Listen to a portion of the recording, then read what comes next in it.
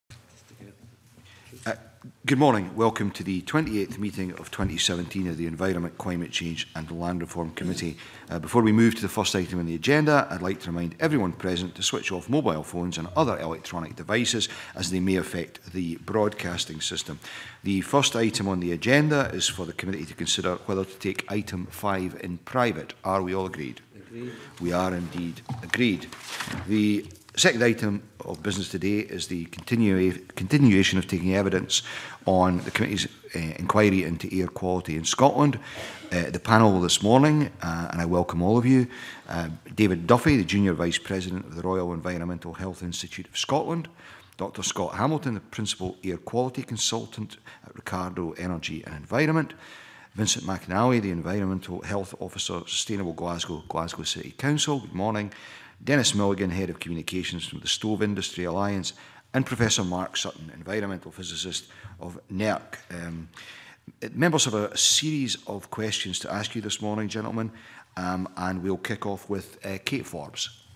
Morning to the panel. I'd like to direct my first question to Professor Mark Sutton to ask how you would update the Cleaner Air for Scotland to ensure a more integrative and cross-sectoral policy. That's a tough one. Um, so I'm going to speak as a scientist, and my expertise is especially in agriculture and air pollution, uh, especially in the nitrogen cycle. I think my first point would be to say that actually I realise this committee doesn't just deal with air pollution, but deals with other challenges as well, climate challenges, biodiversity challenges. I'm not sure whether that's on your radar. Um, and so my first comment would be not just to see air pollution in isolation and realize that there are win-wins between different policy sectors. If I uh, consider the nitrogen cycle, which I'm specifically an expert, and so it's not a bad place to start, I would say we are losing substantial amounts of nitrogen into the air as air pollution, and that applies both as NOx, nitrogen oxides, and as ammonia, ammonia primarily coming from agriculture. That air pollution has actually got value as nitrogen. If you multiplied it by the fertilizer price as nitrogen, uh, we're losing a substantial amount of uh, resource, which turns from a resource into pollution. And so I think that actually encourages us, when looking to your question of more integration, to think of what is the value of the thing which we've lost, which started out as a resource and then became pollution where we didn't want it. And if I just give an example on the agriculture side, and I take total European uh, nitrogen emissions. Uh, the value of that is about, from agriculture alone, 14 billion euro per year. 14 billion euro per year. That is about a quarter of the total common agricultural policy budget of 57 billion euro a year. So actually we're losing from agriculture a massive value. We're losing several further more billion as nitrogen oxides if we could ever learn not just to destroy nitrogen oxides, but to capture it as a resource. Um, of course, that might help us go further on an international level than we'd gone before. So I think when I think about your question about integration for air quality, my first point is think beyond air quality. Think of pollution as once being a resource uh, that can help you meet several of the other goals. So uh, taking nitrogen is contributing to air pollution, to ammonia pollution affecting biodiversity, to particulate matter affecting human health, nitrogen oxides of NO2 affecting human health. They're all in a way linked, and so let's say a more circular economy perspective could help us. I think that kind of thinking might actually also then start helping us in other sectors as well, but I'm less of an expert in those.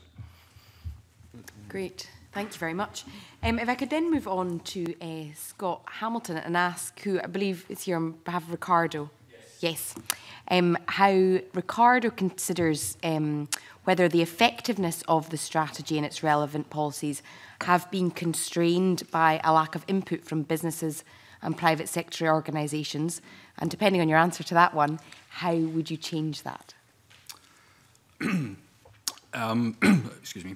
So uh, I think um, it's actually quite difficult from the outside looking in, really, to I, I guess to really understand calves in a lot of detail. Um, we're not very involved in the, the sort of uh, evolution of the, the, the programme, uh, although we, we do a, a lot of work for the Scottish Government.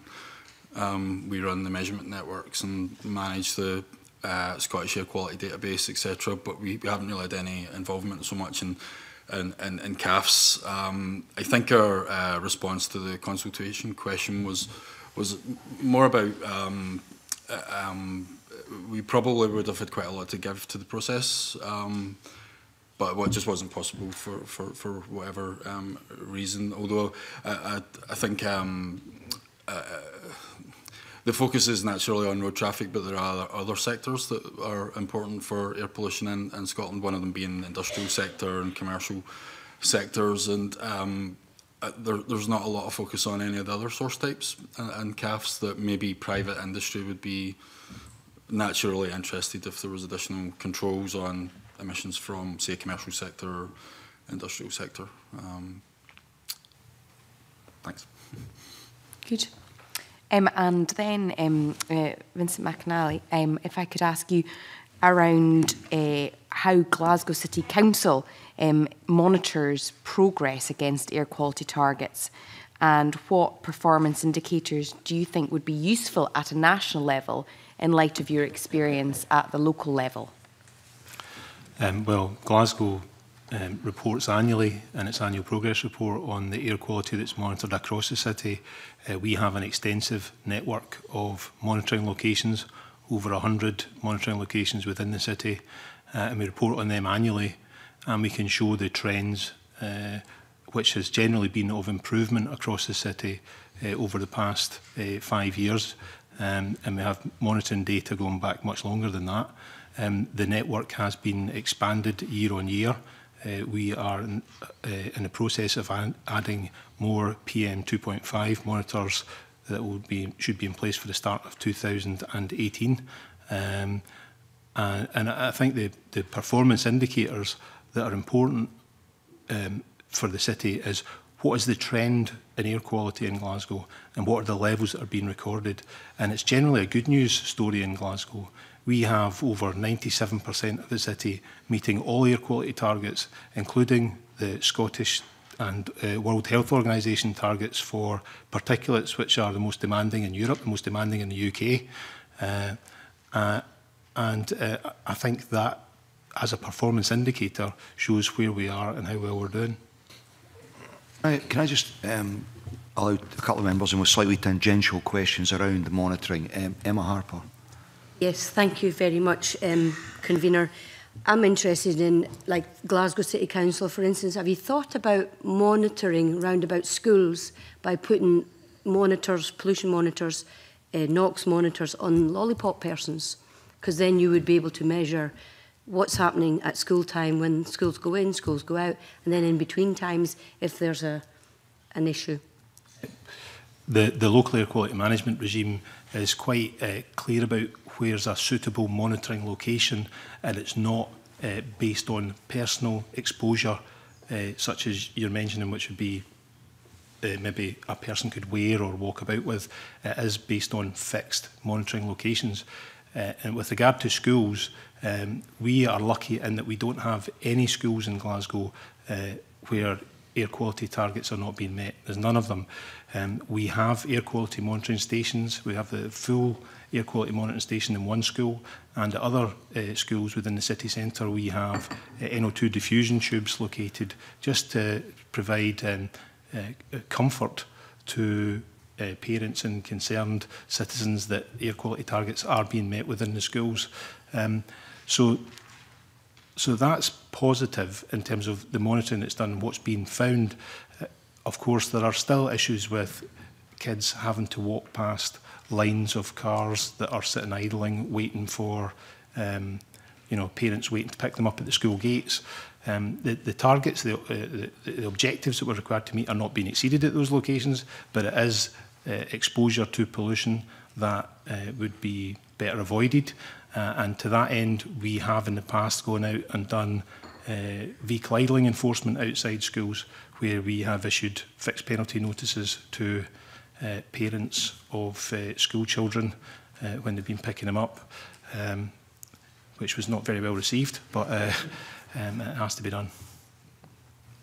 Uh, Scott Hamilton. Uh, I just I wanted to contribute that um, in actual fact, what we're talking about here is uh, very, very small concentrations of trace gases, as we would call them. It's actually very challenging to reliably measure gases and, and, and particles at the concentrations that are represented in the standards. Um, taking personal measurements, um, to my knowledge, there, there are no portable measurement methods that are sensitive enough to characterize air pollution at the levels uh, that we would typically understand as being problematic. Um, the uncertainty uh, and measurements of the type that you mentioned would be very high and would be very difficult to reliably, reproducibly take those measurements and be confident that the results were reliable. Um, and that's a technological issue. It's just we, we don't have the measurement methods to do that right now. Okay. Uh, I think uh, John Scott has a question for Mark yes, Sutton. I have. Um, thank you. Um, and just to go beyond monitoring and um, to develop the theme of, of Professor uh, Mark Sutton's idea of, of uh, these NOx gases and ammonia, um, we had a long conversation at the NERC reception about this. And um, is there any clever chemistry out there about treating these gases, as you suggest, as a resource, as, as something to be harvested. Um, this 14 billion euros of nitrogen, well, it's not all wasted, but certainly there must be some runoff in agriculture. But there's also roadside gases that could perhaps be harvested. You, one can see self-evidently roadside verges that the, the grasses grow better close to the road than they do even 10 feet away from the road, and that's simply a function of the the nitrogen uh, element of the, of the pollution. So is there any way that you can think in terms of clever chemistry that we might actually look at turning this into a resource and, uh, and an asset? So I think we're at the, I'd say, the cusp of this discussion where some technologies are beginning to run and others are still in our mind about how to, how to get there. The first stage, of course, is this change of thinking towards really saying, well, let's go and see what we can achieve with this. Um, I think where we're at already in achieving uh, this is uh, technologies to reuse uh, liquid streams from farming. Um, so if you think about uh, a set of cows, for example, or a lot of pigs, um, they're producing urine and solid manure. Um, that, of course, will typically nowadays be just put straight back onto the field with a surface spreader. Um, the problem with that is it's giving so much up into the atmosphere because it's covering all the surfaces, and the main pollutant there is ammonia. Um, what they're doing in some parts of Europe now is, um, and this is actually, curiously enough, driven by the Nitrates Directive. So we've got another link between air pollution and another policy domain. Um, they couldn't put more than a certain amount of organic manure onto the field. So they would pay somebody else to take it away. The guy that's taken it away now has a bit of money and the manure. First off, he's doing anaerobic digestion and getting some methane off it. And secondly, what's left is a liquor which is rich in nitrogen and phosphorus. And so they warm it a bit, strip off the ammonia, and put it together with an acid and sell the product back to the fertilizer companies. So you've actually got the basis of circular economy uh, going. And that is already happening. Um, and of course, it's a question of how to get it profitable. Um, I think the next one with the with the the NOx come from the other angle entirely. Our vehicle exhausts. All our technologies really to date are focusing on turning that NOx, NOx, back into atmospheric nitrogen. That's the form N2, and that's 78% of every breath we take is N2, but it's completely unreactive, not much use for anything apart from providing a nice stable atmosphere. Um, but if we can get that NOx and turn it into nitrate, again, we've got a potential resource. And that is where we're still, I'd say, at the cusp of development um, because that's a long way away from yet making that economic into the future. Um, but imagine the world's nitrogen oxide emissions, and that's about um, 40 million tons. So I'll, I'll, say that that's something like about $40 billion worth a year of NOx, which we're currently treating as pollution, in the future, the question would be, can we then improve our technologies to wash that out commercially? And, and then, of course, bring down the price of air pollution abatement. And the roadside verges one, as I think, is an interesting one. And the, the challenge we face again with these will be to make them economic in a way that uh, whoever's managing, be it a roadside company or, or, or a farmer, uh, gets enough to make it worth his while. Uh, take, for example, what would be coming out of uh, field drains. Um, of course, if, if that's not been run well, they may have substantial nitrate leaching. I think it's a challenge for the future to capture that nitrate leaching and get it back into the farm and back onto the crop where we want it. So, forgive me for being so stupid, but my chemistry is so out of date. But what's the equation that takes N2O to nitrogen plus oxygen. What, how do you split up that molecule into? Uh, there'll be a chemical piece of chemistry somewhere, although I don't remember what it yes, is. well, there's, there's several ways of doing it. Um, the first thing to realise is that nitrogen is a bit challenging because it's, it's got these several forms. So the first form is the N2, two nitrogen atoms together. That's 78% mm -hmm. of every breath we breathe. Um, the next you just mentioned was N2O, and that's a greenhouse gas, so that's really unreactive. Once we've lost that, it's really hard to do much with it. I actually um, meant um, NO2. N, N, N, N2O, and then the next one is NO, and that's nitric oxide, and that's the one that forms very rapidly to form nitrogen dioxide, so it's the one we're used to in the cities. Um, if you add a bit more oxygen, you can convert that NO2 into nitrate, which is NO3. So you basically add one more oxygen, and you might do that by a number of ways, um, but basically an ozone-rich, uh, an oxygen-rich source uh, to convert that to nitrate. Uh, Scott Hamilton wants to come in there. Um, I just wanted to make uh, the observation. Uh, I think in answer to your question, the, the simple answer is no. Uh, right now, there's no technology to remove uh, NOx from the atmosphere at roadside that would, well, align with the CAF's objectives of reducing exposure to uh, NO2. There, there's no technology. And the, the compounding factor is that we're not just uh, traffic emissions, they're a complex mixture of NOx, volatile organic compounds, particles, metals. Um, so you would, I, I would imagine there would be a, an issue of having to deal with those sort of nasties uh, alongside the thing that you want to keep. But right now, there's no technology to, to, to rely on. No, but there is a simple natural technology of grasses obviously absorb these uh, nitrogen uh, compounds, uh, and you know, that's there to manifest, to see. uh, Probably sulfur as well helps the growth of the grasses, but um, and therefore. It, environmental enhancements such as grass or trees by the roadside, presumably that captures some of these gases. Is, is that not? Is that not? Um, I mean, my experience um, primarily, I'm a, a, a, an air quality modeller and atmospheric scientist, mm -hmm. and mm-hmm. to my, my experience thus far has been that grass has absolutely no effect on concentrations uh, at roadside. Uh, trees can have a, a, a, an effect, but it can be a compounding effect of slowing down wind speed, which increases concentrations of some gases. So it's not there's, there's no straightforward fix, unfortunately. Um, reducing emissions at source is the most reliable way to deal with this issue, not to deal with the emissions once they've been released from the source. Uh, I don't want to get bogged down in this, but Mark Sutton, do you want to come back? in that yeah, I'll just come back with a quick one. I think um, I think actually we we agree broadly, and, and the key thing is once it's out in the atmosphere, it's hard to deal with. Uh, you want to keep it either not emitting or in your source or captured at, at source. Uh, in the case of vegetation to recapture near roadside verges, we have to make a distinction here between there are higher levels near roadside verges, which means the dose to that vegetation will be bigger than if it hadn't been near a road.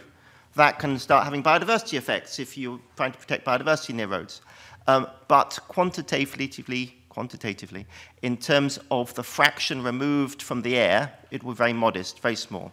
And so this debate about trees in the urban environment when it comes to NOx uh, is a challenging one. The main benefit or threat actually will be through the dispersion effect. So if you're the other side of the trees, the air may have been dispersed better and you'll have better air quality the other side of the trees. But if you're in a street canyon protected by trees, you'll have higher concentrations. Um, and, and the last distinction to make is that these different gases have got different removal rates that NO, NO2, coming out of cars, deposits very slowly. That means there's very little potential for recapture. The ammonia deposits faster. There is some ammonia coming out of catalytic converters as well. So it depends on your gas. Vincent McInally. Keep it brief. Um, it was just to mention the fact that we have in Glasgow introduced two what they call city trees this year, which are freestanding moss walls, if you like, um, which are planted with a particular uh, types of herbs and, and mosses that are uh, shown to be more effective at capturing pollution uh, pollutants from the air. Um, these are, I say, freestanding units. They're much cheaper to install than uh, just actually planting a tree within an urban environment. Um, they are self-contained, so they capture their own rainwater. They're solar-powered, it pumps through them. Uh, and they may be an option for us to introduce more of them in the future. That sounds fascinating. Can I just ask you a, a further question? Um, the Hope Street hotspot, as I understand it, the monitoring station is very close to a taxi rank. Is that the case?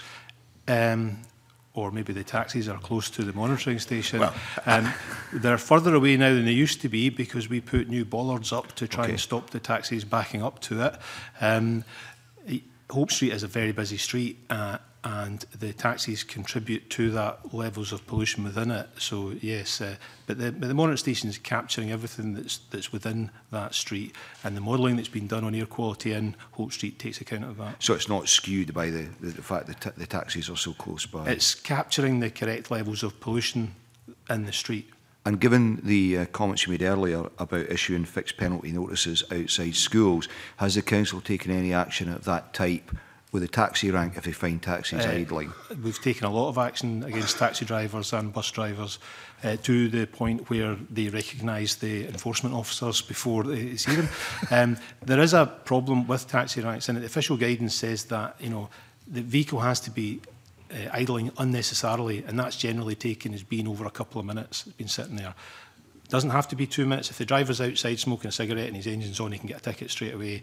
But it's idling unnecessarily in the ranks, they move up so quickly in the ranks that they don't stay stationary long enough for us to issue a ticket. Because hmm. mm. if we're timing them, it's literally 30 seconds and they creep up the rank. You have to start the clock again. You're not able to issue them with a ticket. Okay, it's good to get that on the record. Kate Forbes, you want to continue? Yeah, I've got two final ones and I'll ask them together in the interest of time. The first one directed at Dennis Milligan followed by um, David Duffy.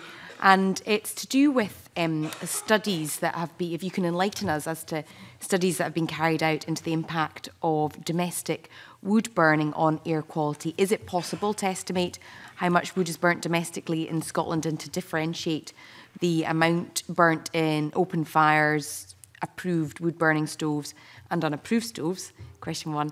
And then question two, and this is a free for all, um, uh, whether you believe the Clean Air Act of 1994 effectively deals with emissions and is it adequate, adequately enforced and how do you think it should be amended?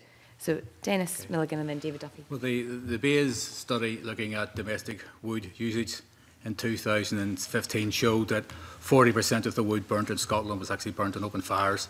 And we're obviously arguing that's the worst way to burn wood in that uh, if, if, you control the burn, you can control the, the, the emissions that are, that are, coming from it because most, most PM from wood burning is, is, due to incomplete combustion of the wood. So uh, in an open fire, you have lots of incomplete combustion, therefore you, ha you have more and more emissions. Um, Dr. Fuller of King's College uh, uh, uh, earlier this year presented a study that he'd done across all the monitoring stations uh, in the UK, and he found that the level of, of wood burning emissions was dropping in each of the cities. So it was dropping slightly both in Glasgow and, in Edinburgh. And the reason he put down to that was really the replacement of open fires and older stoves with DEFRA exempt stoves. So really what we're trying to educate people about now is uh, the new European uh, level for our control for emissions, which is eco design, which is due to come in in 2022 for uh, wood burning stoves. as an, as an association, we're, we're, bringing them in, we're bringing them in now, and we've committed by 2020 to, to meet the, the emissions.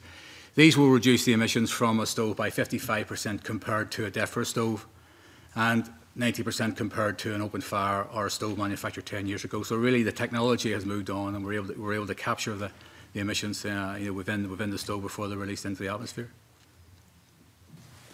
Just before we go any further, can someone quantify for me the extent to which fires and stoves are uh, part of the problem. Uh, is it a significant contributor to this issue? Is it a minor one? Somebody, David Duffy. Um, thank you. Um, it's not completely known because of the way that the stoves um, come into use.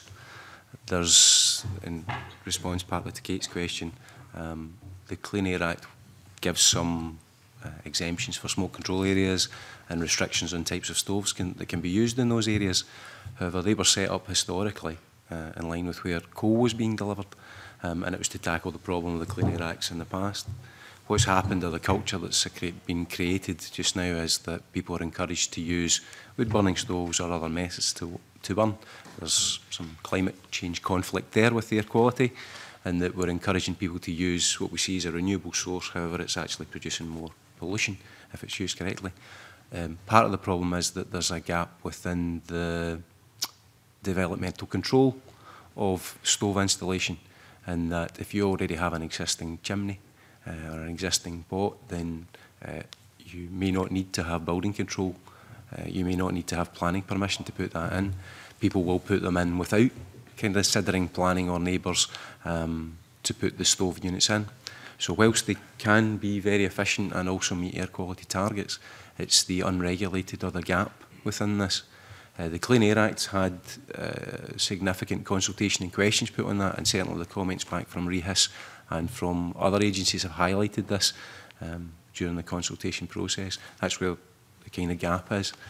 Or we believe the gap is, the problem is actually knowing where that's demonstrable to be said, this is the problem here. Um, a lot of CAFs um, for Clean Air for Scotland is set up towards transport uh, and transport issues rather than looking at, as was suggested, at other areas of um, contribution to pollution, agriculture, domestic burning, uh, heating, these other elements. So the problem associated with, or the perceived problem associated with stoves may not be fully um, understood. Scott Hamilton. um, so my organisation did some research for Scottish Government back in 2008 and we, we published, uh, the government published uh, uh, a paper on the subject of wood burning uh, in, in cities and what that would be possibly contributing to PM10 and PM2.5. Um, given that that's quite out of date now, it's 2008, I think when we looked last time we reckoned it was probably a, about a microgram or so of PM10, something a bit less than that for PM2.5 in Edinburgh and Dundee. Um, we didn't look at Glasgow in that study, but um, I don't think there's much reason to suspect that that will change very much. Um, so that was the last time I think we looked holistically at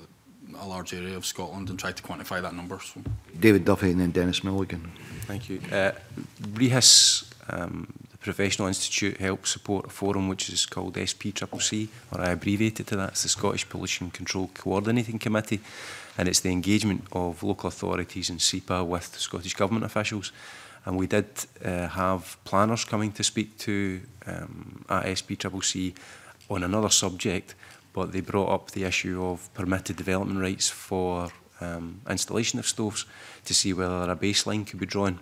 Um, and that was given back to the planners at that time, but we haven't seen anything coming forward. That would help with um, future developments um, of sites that we would come across to say, are you meeting the permitted developments right? If you meet the permitted developments right, you don't have to apply for planning permission um, and you've got something that's satisfactory. However, the problems are, that come back from the forum, because it represents the 32 local authorities, are for local problems where an unregulated unit's been put in and the chimney height or the exhaust fume is plumbing down and affecting someone else, which whilst small contribution to the overall air quality um, figures for Scotland does give a very, very local problem that has to get tackled. So on the one hand, they're meeting perceived building regulations and planning and are authorised by the local authority are not impacted. And on the other hand, environmental health, who I'm speaking on behalf of, uh, are coming back and saying, you can't have that stove there because um, it's affecting someone next to it. So it would be beneficial if there was the gap within the development controlled and also some assistance in informing the public as to what they can do in this area before they go ahead with it. You, uh, Dennis Milligan. Could I just say two things? One, the first is that in England and Wales, it's a notifiable event if you are going to install a stove, so building control is immediately involved, or else it's handed to a competent person who, who obviously, again, is authorized to, to survey and uh, install install the stove. So really, you know, I didn't realize that it wasn't a notifiable event in Scotland. So I think that would be an improvement where, you know, the installation was covered properly to make sure that it, that it, it does, uh, you know, do its best to disperse the emissions. Second point was, was really in terms of the impact of stoves. Um, I rely a lot upon what I, what I, what I, what I learned from, from King's College and really the, the estimate that Dr. Fuller puts out for London, and I apologise, it's London, but basically he's saying that it, at a wintertime peak of emissions of PM, uh, it would probably be, but still wood burning would be contributing 10%. But in London, 70% of the wood is burnt on open fire. So again, that's why we had this conversation two weeks ago with the with the Mayor of London's office, and really, you know, they're accepting that the problem there in smoke control areas really is, is the inability to control uh, Haida Burnerwood.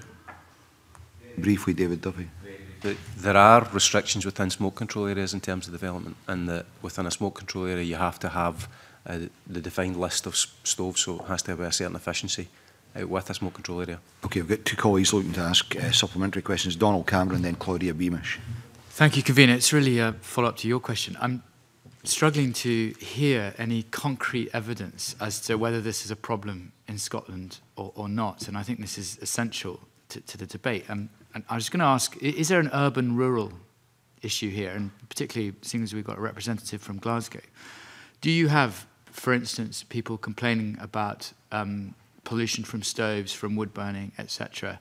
Um, to what extent, in your experience, is it, is it a problem? Just to Vincent McAnally.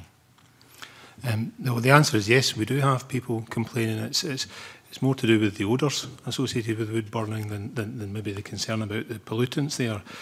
Is it a huge problem or a, a large number of complaints? No, it's not. Um, um, but that's maybe perhaps due to the number of installations that have been put in place. I mean, a couple of things I could pick up on. You know, open fires, we don't have open fires mm -hmm. in mm-hmm. Glasgow. It's a smoke control area right across mm -hmm. Glasgow.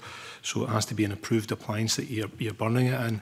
Um, I mean, my own thoughts on it are you know, the Clean Air Acts, when they were introduced in the 50s, 60s, were probably the most significant pieces of public health legislation introduced in the UK. Um, and because they allowed local authorities to prohibit the burning of solid fuels within their areas um, and move back towards burning of wood, uh, burning of solid uh, fuels uh, is, a, is a backward step, I think, in areas where we have concerns over air quality. Now, it's not It's not, there's no evidence of it being a huge problem at the moment, but I think it's something we need to keep a, a watchful eye on to see whether it becomes continues to become more popular or trendy to have wood burning stoves in your house place. Um, another issue with it is, you know, they, they can be laboratory tested to show that they're, they're very clean and how they're run when they're run exactly as they're supposed to be operated. But we have no control over what people put in the fireplace on a dark night in a tenement where nobody can see what's going into it. And there is a you know, a natural human tendency to think, oh, just chuck it in. Uh, and and then, then what are the emissions like that, that come out from that? So there are there are concerns, but there's no, we as a local authority don't have an evidence base to show that it's impacted on levels of pollution at so, So just to come back on that, if you were, and this is an unfair question, but if you were to try and apportion uh, the percentage of uh, emissions or pollution that you get from stoves in, in Glasgow, would you be able to put a percentage figure on it? no. And it would vary from, from street to street, right. from area to area. But okay. no, I couldn't give a figure. Okay, thank you. And one final question in this section, Claudia Beamish.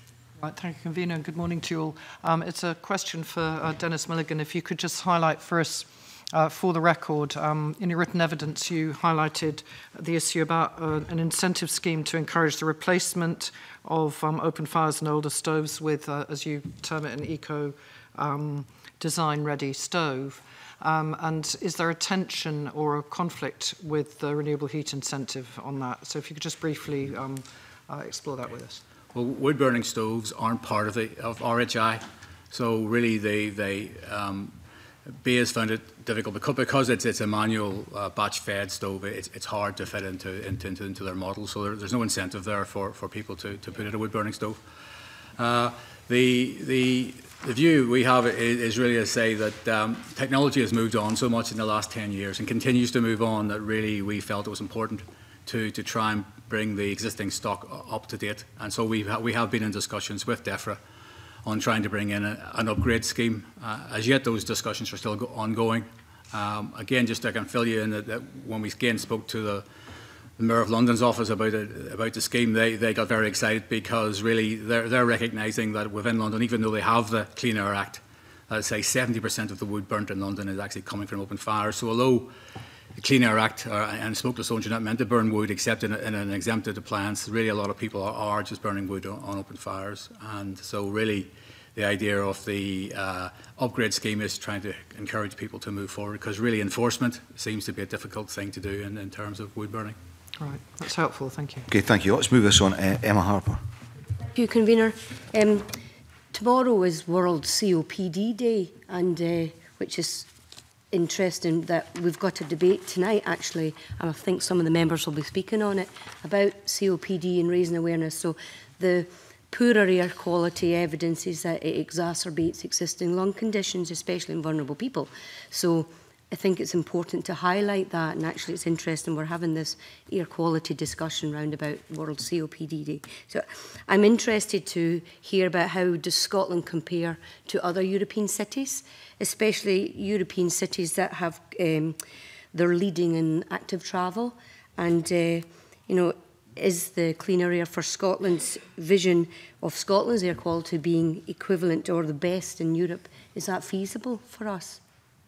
Scott Hamilton. Um, so uh, I, I think uh, the, the, the air quality story in Scotland is um, very good actually in most cases. Um, we have some quite isolated uh, problems with air pollution, but generally um, the country benefits from being surrounded by ocean on three sides. We don't have uh, very many large polluting neighbours. Um, So as, as uh, for instance, so the, the, European Environment Agency, they, they publish each year um, Europe-wide uh, statistics and comparisons between uh, regions, and Scotland always comes out very favourably in that compared with other European countries. The outlier in that is uh, NO2. Um, we have a, a, very, very low particle climate compared to other countries. I've, I've done a lot of work in China just very recently. Um, they have quite low concentrations of NO2 compared to PM. We are, we are, we are the opposite. We have a lot of NO2 and not very much PM. Um, so uh, that points to uh, the UK has a very sort of specific issue with using a lot of diesel. Um, and that the, the manifestation of that is a lot of NO2 in the atmosphere. Um, but but if you were to take the, the, the Scotland in the round, um, Scotland comes up very favourably in comparison with other European countries. And typically, any exceedances that we have of standards are very marginal. Um, obviously, with some cases like Hope Street like we, we, mentioned that are very, very specifically hot spots and uh, almost a, an engineering problem as much as anything. But yeah, Scotland has good air quality compared to other countries, other uh, parts of the world. Very good air quality. Angus MacDonald. Thanks, um, Convener. Just picking up on the, the, the issue of, of hotspots, um, I represent Grangemouth um, which it's fair to say has had a number of uh, challenges with regard to uh, air quality in the past, and there have been a number of breaches, exceedances of uh, SO2 um, in my constituency, which has resulted in an AQMA specifically for SO2. Um, and to the extent that us have uh, invested um, just over £70 million in a sulphur recovery unit uh, at the refinery, Um, now, clearly, uh, removal of sulphur from fuel is uh, as close to source as possible is a good thing, and as I understand it, um, the UK exceedance levels uh, are, are higher or more stringent than uh, the EU levels. Uh, and us have often claimed to me that their, their breaches were against UK levels rather than EU levels. Um, so could you explain to the committee the, the, the difference between the EU exceedance levels and, and the UK oblique Scottish ones um, and how they managed to um, fit in with, uh, with monitoring? Um, so, so the, um, the, the UK domestic um, standards for, for SO2. Uh, I'm not really an industrial modeler per se, so I don't do much work on SO2, but the standards are more stringent and that one of the objectives that are is used in the UK doesn't exist in European legislation. Um, I, um, I think it's a 15-minute standard um, is, is way more stringent in the UK than um, uh, Europe. The reason for that being obviously that SO2, um, it's... Uh, uh, it's a very, it has a very acute action on human health, whereas NO2 is more of a chronic uh, uh, contributor to health deterioration. Um, I can't comment on what, what the rationale was behind adopting a more stringent uh, standard, but yes, it is more stringent and uh, than Europe. Okay. Mark Sutton, do you want to come in on that? It was just a, a quick comment on the particulate matter and the relative uh, clean atmosphere of Scotland compared to some other regions in the world. I think just to reflect on that, yes, we're like, very happy we don't have the air pollution of Delhi, um, but I would say that's not a, a reason for complacency, um, and perhaps to make the distinction between meeting a target value and having no air pollution effects at all, because the target values, of course, are an outcome of a, a set of complex negotiations of how much we're ready to agree to go for. Uh, but as far as I understand from the effects scientists, they are saying we don't have a threshold for human health impacts of particulate matter. All particles are bad. So even if your, your particle limit is, is so many micrograms per meter cubed, if you're a little bit less than that, that doesn't mean you have no impact. It, there are still impacts. And of course, the other thing with Scotland is, and we've seen this in the air monitoring data and the modeling, is occasionally we do get big, uh, high levels of pollution coming in from across continental Europe Um, and this raises the point that it's a combination of what happens in our city, of our local sources, but also managing our widespread sources across the countryside, across Europe, because the background levels, even before they enter the city, can be very high. On, on the subject of cities, um, is there any kind of um, league table, for want of a better expression, about cities, similar cities to Glasgow and Edinburgh across Europe and how they're performing? And if there is, and there are cities doing better than ours, what are they doing differently? Vince McNally. I thought that might come to me. Um, it, clearly, there was a, an article in a, a couple of the newspapers um, and over the past three weeks that was suggesting that Glasgow was the worst in the UK for for air air quality, and which kind of came as news to me, someone working in air quality, and I would imagine to most people that have ever ventured further than Glasgow uh, and gone to places like uh, London and, and Birmingham where the air quality there's clearly uh, much more of a problem than it is within our city. Um, league tables probably uh, aren't able to be used to reflect the, the differences in air quality because of, it's not then necessarily looking at the, the number of people that are exposed to it, the, the areas that the pollution levels are confined to. For example, Hope Street, it fails the, the, the objective for the, uh, for the annual mean. However, there's no residential properties within it. So, yeah, the, the, the levels there are higher, but people don't live in that area, so it's not as bad as maybe um, uh, exceedance of uh, an, an, objective in an area where there are large number of people living or even schools located within it. So there, there's no real league table as such. Um, but I mean, I would echo the comments that have been said previously. The air quality within Scotland is generally really good, and including within Glasgow. Um, you know, particulates being identified as the most harmful component of air pollution. Well, we meet the Scottish and WHO objectives for both PM10 and PM 2.5, um, which is again that article inaccurately reported on data from 2013. Um, pollution has dropped in relation to particulates right across Scotland, but in Glasgow as well, uh, and all of the objectives are being met Okay, Scott Hamilton and then Mark Ruskell wants to come in. Uh, I just uh, wanted to make the observation, just really a, a note of caution, I suppose, about interpretation of uh, league tables. I mean, the WHO publish uh, a, a league uh, every year. They, as I say, the European Environment Agency publish a league every year. Um, the, individual cities are really um, the, the, the concentrations that are reported in these league tables are very very sensitive to where the analyzer is placed that is reporting the measurements. So if Glasgow was being interpreted as uh, or as Hope Street was like representative of the city just isn't true, but it is in the league tables. Um, so there is an unfair distinction I think uh, to be made when the sites are not sited exactly under the same conditions, which they are, are they are not. There's no way they are across all of Europe. So. Okay, thank you for that. Uh, Mark Roscoe. Yeah, I mean, it, it's obviously difficult to, if you're going to start comparing and adding in league tables and trying to assess what the impacts are of individual streets on individual people. I mean, I, I used to work for Hope, uh, I used to work uh, in an office in Hope Street, so I spent about nine hours a, a day there. So might, maybe I've had, you know, greater greater impact in terms of air quality on, on my health than somebody who's just walking past the area. Uh, and I think this debate comes back to health. So I mean, when you're looking at air quality management areas where you're looking at chasing limit values, what, what's the health data on that? How many lives do we save if we reduce PM10 or NOx by a certain uh, value over time? What, what kind of impact data is there on that? Because at the end of the day, otherwise we're just comparing one city to another or one area mm. to another without any kind of meaningful analysis of what it actually does if we reduce air quality uh, pollution.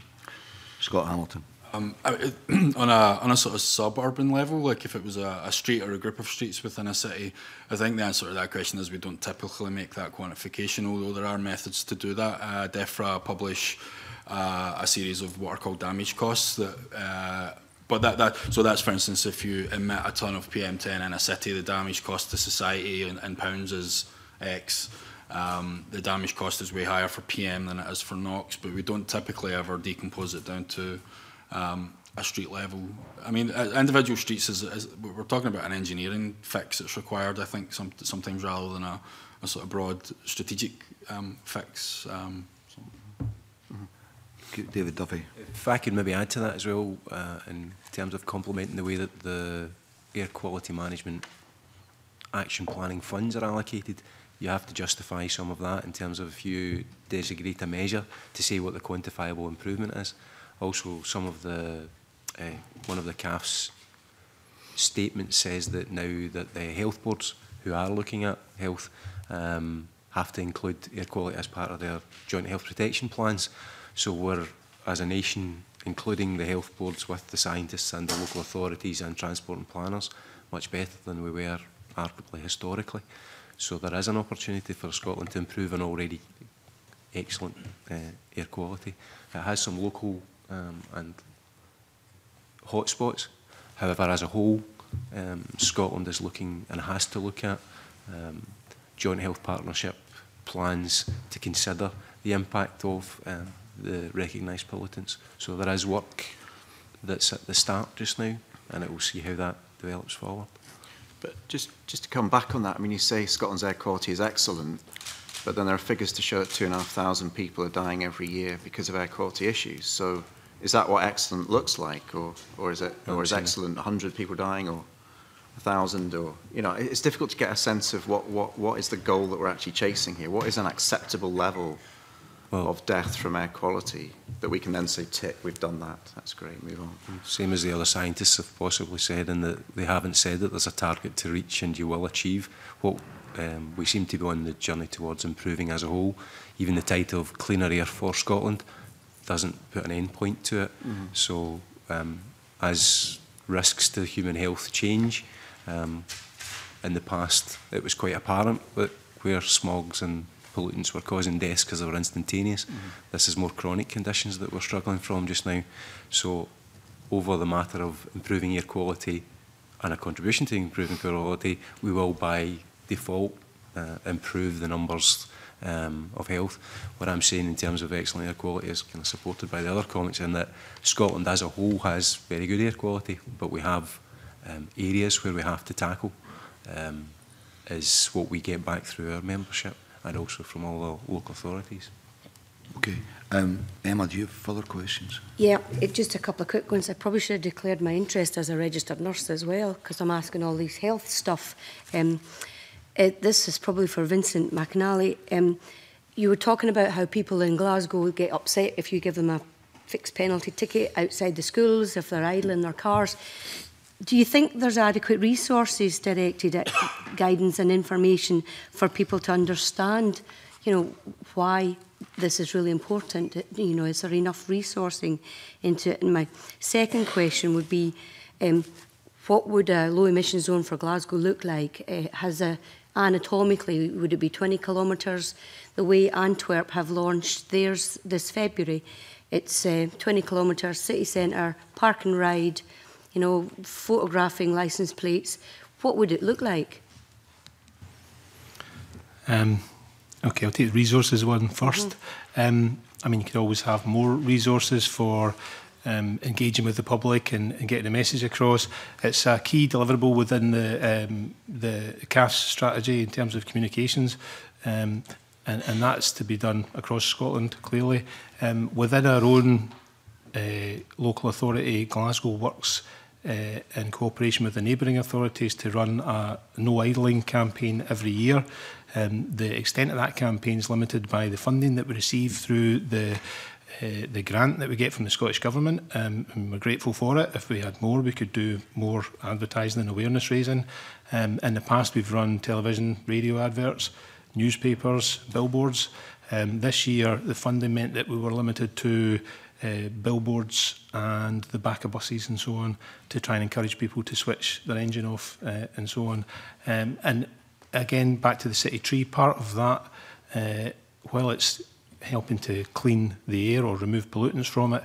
Um, the actual structure has information on panels on the side of it um, to encourage the public to visit air quality websites, take, be aware of what they're doing, their contribution to pollution levels. So it's also about raising awareness. There's, there's lots more can be done. I know SEPA have engaged with a lot of schools. Uh, I think that's an excellent idea to try and encourage the kids to uh, you know, nag their parents into walking them to school, or I mean, certainly my kids prefer to walk or, or, or use their scooters to go to school. Um, I think there's, there's, there's more can be done. It's just, you know, and the more resources that we have, the more we could do. Uh, to move on to low emission zones, I mean, that's, that's a huge question. Um, what's going to be done? What's it going to look like? Um, it went through our committee at the end of September, I think it was the 29th of September, and there was an agreement in principle to put a low emission zone in in 2018. Um, that'll be towards the end of 2018 before that uh, low emission zone is put in place. Uh, the exact details of what it look, looks like will be subject to the delivery group uh, that's been formed, comprising of various parts of uh, Glasgow City Council, the tra transport guys, environment guys, um, the people from equalities, planning, um, legal, procurement. There's a, there's a huge working group being formed with that, but it also includes outside agencies such as Transport Scotland, SEPA uh, and SPT. Uh, in addition, we have a delivery forum being set up specifically to engage with stakeholders. That's the fleet operators, the bus operators, the Chamber of Commerce, uh, anybody else that will be impacted by the low emission zone when it comes into place. Uh, and it's not really for us to just say that is how a low emission zone is going to look at this stage. We need to engage with these stakeholders, get feedback from that and help shape the, the low emission zone so that it will be effective when it comes into place. Having said that, it's quite clear that the low emission zones boundary at the moment that's being considered approximates, uh, is approximately uh, equivalent to the existing city centre air quality management area. Um, that's not to say it'll be exactly that, but it'll be approximately that. And that, if you don't know Glasgow, that's the area that's bounded by the M8 to the west and north, the Clyde to the south, and then it's the Saltmarket High Street kind of area to the, to the, to the east.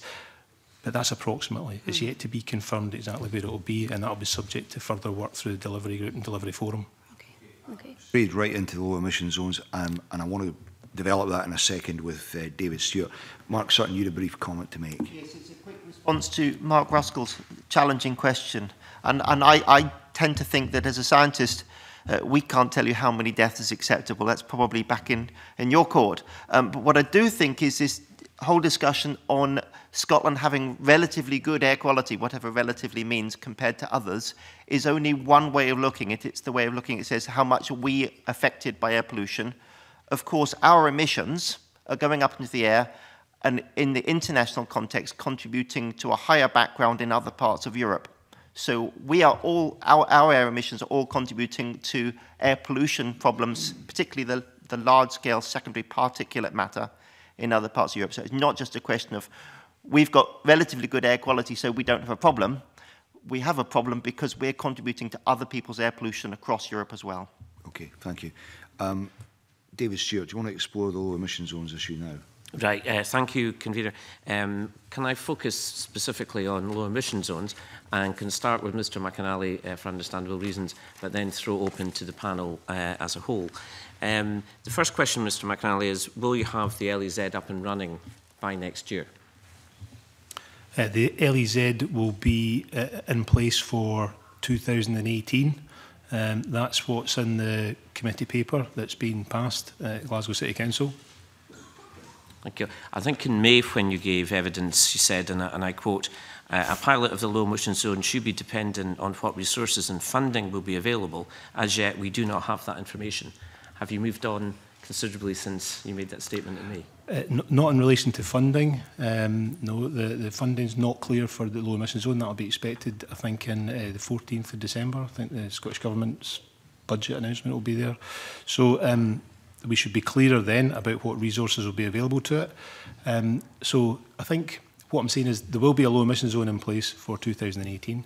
Exactly what it will look like and how ambitious it will be will depend on the resources that are made available uh, and it will be subject to you know, further discussions as the delivery group progresses. I mm. mean, um, one, of, one of the issues you may have picked up, the previous evidence we've taken is about the use of technology. And as I understand it from London, there's uh, vehicle recognition technology which can detect um, registration numbers and detect if they're Euro 6 or not. Obviously, I understand that you do have that technology for, for bus lanes in Edinburgh. I mean, do you have that technology in place now that would do a 360 degrees around a potential LEZ in central Glasgow. Do we have we have AMPR cameras that are uh, linked to our bus lane enforcement? Yes, we do currently have that. Are they in place now that would allow us to have a low emission zone sufficient for a low emission zone? No, they're not. Right. So, I mean, clearly then that's a budgetary issue. You would need to know what budget's available um, in order for you to roll out that technology. And even if you had the budget today, presumably that's a, quite a big technological leap to have it all up and running even in 12 months' time. Is there, a, is there a chance that we could have an LEZ in name only in Glasgow next year to come into force a couple of years after that? The, the, the low emission zone will be in place for 2018.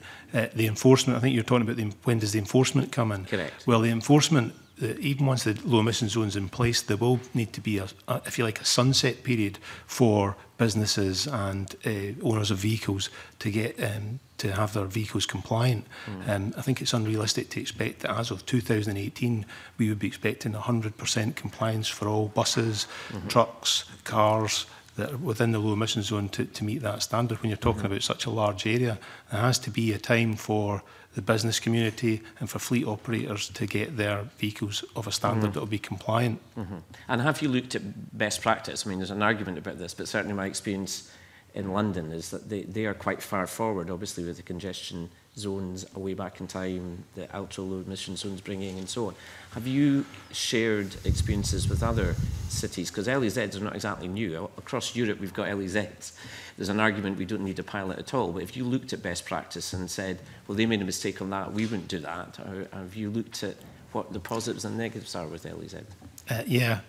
we have done. Um, we've been doing that in Glasgow for, for, for quite a while. Uh, and one of the things that become apparent is that because we have a problem with NO2 and not PM10, that the emission standard that we require is Euro 6 uh, and uh, for diesel vehicles, uh, whether it's heavy duty uh, Euro 6 or Euro 6 for passenger cars uh, and Euro 4 for petrol. Uh, and that's a very demanding standard. That's much higher mm-hmm. than has been asked for anywhere in, in, in the rest of Europe, and it's equivalent to what has been asked for uh, in the London ultra low emission mm. zone. So the, the current emission, uh, low emission zone in London does not ask for uh, emission standards as high as what we will be asking for in Glasgow. The ultra low emission zone will be,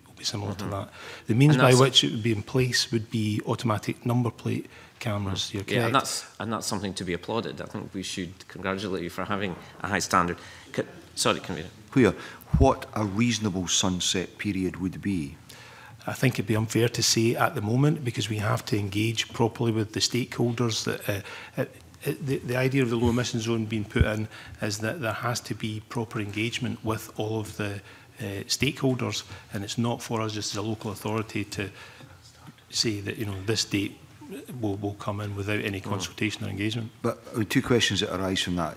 Ballpark, are we talking about a couple of years? Are we talking about five years? Are we talking about 10 years? And have those conversations started already?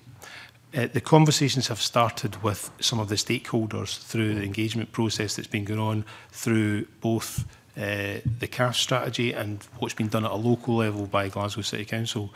Um, I would think you'd be look, talking about the medium term for some vehicles, such as, I mean, for buses, example, you can retrofit a bus, so you can fit a new exhaust system onto it. If you have a van or a car, you need to replace that vehicle, so there'll clearly need to be a longer uh, period for uh, sunset period for owners of those vehicles to make them compliant. Okay, thanks. Sorry, David. Kavir, could I just bring you back to the retrofitting that you've predicted my next point? Um, I, I seem to remember you raised before that um, Glasgow had a scheme for an incentive scheme for retrofitting buses. Was I correct on that? Could you uh, tell me? We tried to offer grant funding for buses to be retrofitted. We offered 80% of the cost right. of retrofitting a bus. Um, it was funds that were made available from Glasgow City Council, the Scottish Government and SPT, and we had no uptake uh, or interest I'm, from any bus operators. Well, we had interest, but nobody went through I'm it. extremely surprised about that because, I mean, obviously bus companies, we've had evidence, obviously, know they will have an LEZ, will know they will have Euro 6. They, there's some nodes in this. What, uh, I mean, why are they not taking up this excellent offer? But I should be clear about that. This was a, uh, a few years ago, and this was before a low emission zone was on the cards. Right. So this could be a different context. Because one of, one of the bits of evidence we've taken, as you will know, is, and this actually came from bus companies, is the worry is that in, once we create LEZs throughout Scotland, is we will have Euro 6 compatible buses in the LEZs. But there'll be a trickle-down system where older, more run-down buses, if you like, are in areas out with the LEZ, which obviously we don't want. And there's also wider issues about if companies have to increase um, their charges for buses or lose availability in routes that you'll find that people will um, no longer be able to have the, the best choices, but that's uh, an issue for another day. Once the LAZ is announced, will you, is the incentive scheme still up and running? Uh, this will be subject to the funds that are that are, going to be made available, I believe, in December. Um, we do not have a budget for retrofitting buses at the council now. That money, um, as I say, was a number of years ago. There was no uptake in it, yeah. and we ended up uh, buying two fully electric buses for provision within uh, Glasgow. So they run on the 100 service within the city. Um, the, the, the, the point about um, the grant funding being made available for retrofitting buses, yes, now there's a low emission zone coming into place, I would think there would be interest in uptake mm. of the grant funds. Uh, and it's, you know, this funds, funding being made available for bus operators is going to be key to yes, delivering a successful low emission zone mm. because the feedback from the bus operators, understandably, is that if they need to spend £15,000 to upgrade a bus over, and it's, uh, you know, several hundred buses needing done, that there will be an inevitable increase in charges and bus fares. Yeah. And that's the last thing that yeah. I want as an air quality specialist is to see people being put off using public transport and deciding to go back to using yeah. their cars. Yeah, um, in terms of displacement, um, I don't think that will be uh, uh, as much of a concern for a couple of reasons. We're, you know, we're talking about the, the, the older buses that are in the, the, the areas that were having the, uh, recording the highest levels of pollution being targeted first. So that would seem appropriate that that's where to target the effort. The buses don't need to go anywhere else. They can be retrofitted with a new exhaust system, so you can still have the same bus with that exhaust yep. system running in that place. The benefits from those buses extend beyond uh, the immediate low emission zone within Glasgow because yeah. the buses run in a, yep. a number of different areas. That and the final point on that is that low emission zones are being uh, are, are, are, are to be expected in a number of cities in Scotland. And that's the good thing about that, that there's, there would be no point in just displacing them when other cities then come on board and decide that they're going to have a low emission zone. Yeah, thanks. That's very helpful. Could I throw on my, my final questions to all the panel? Um, there's also an argument that LEZ should include private vehicles as well as commercial, and emissions may be looked at as per passenger per, uh, as opposed to per vehicle. Can I ask the other panel members, including Mr McAnally, what their views on using private vehicles uh, to be subject to LEZs? Scott Hamilton. I think it's a very uh, pertinent question, the, the question of uh, private vehicles. Um, much of the reason we're, we're sitting here today is because we're, we have a, a measured problem with air quality in our, in our cities and towns. And 100% uh, uh, sure that most of that problem is arising from too much diesel, in the car fleet in the wrong place at the wrong time and the wrong technology. Um, so although uh, the, the aims of, of, of the CAFs, uh, the strategy are, are very admirable, I mean there's there's a fundamental problem in how we fuel our private vehicles in the UK right now, and um, to be very blunt about it, no diesel, no problem. Um, we, as I say, I've done a lot of work overseas where we they, they have similar concentrations of NO2 to Scotland, but very, very, very, very much higher PM10 concentrations. And it's because they don't use diesel. So if we could, if we could uh, reverse the dieselization process from 15 years ago, whatever it was, our air quality problems in our cities go away overnight almost. Right, thank you. Other panel members? No. Okay. Just, just on the cars then, yes. I mean, it was within the committee paper that went, was passed at Glasgow that cars will be included in subsequent phases of the low emission zone. Right. So they will be included. And uh, just to completely echo Scott's comments on, on the dieselisation of the fleet, that's the reason that we have the problem that we do at the moment. And there are still, uh, you know, tax incentives to drive mm. uh, diesel cars. The MOT tests that the vehicles go in for doesn't test for NOx emissions. Um, so it, it, there, are, there are big problems with the diesel fleet that are not going to go away overnight. Mm. Okay, thank and you. It's, uh, jo sorry, do you want to... Just final point, uh, Kavir. uh, uh and it's more an observation than a question. But I think what has not helped confidence has been, Mr McNally made this point in another context, is the difference between um, ideal lab conditions for diesel vehicles and the on-the-road reality.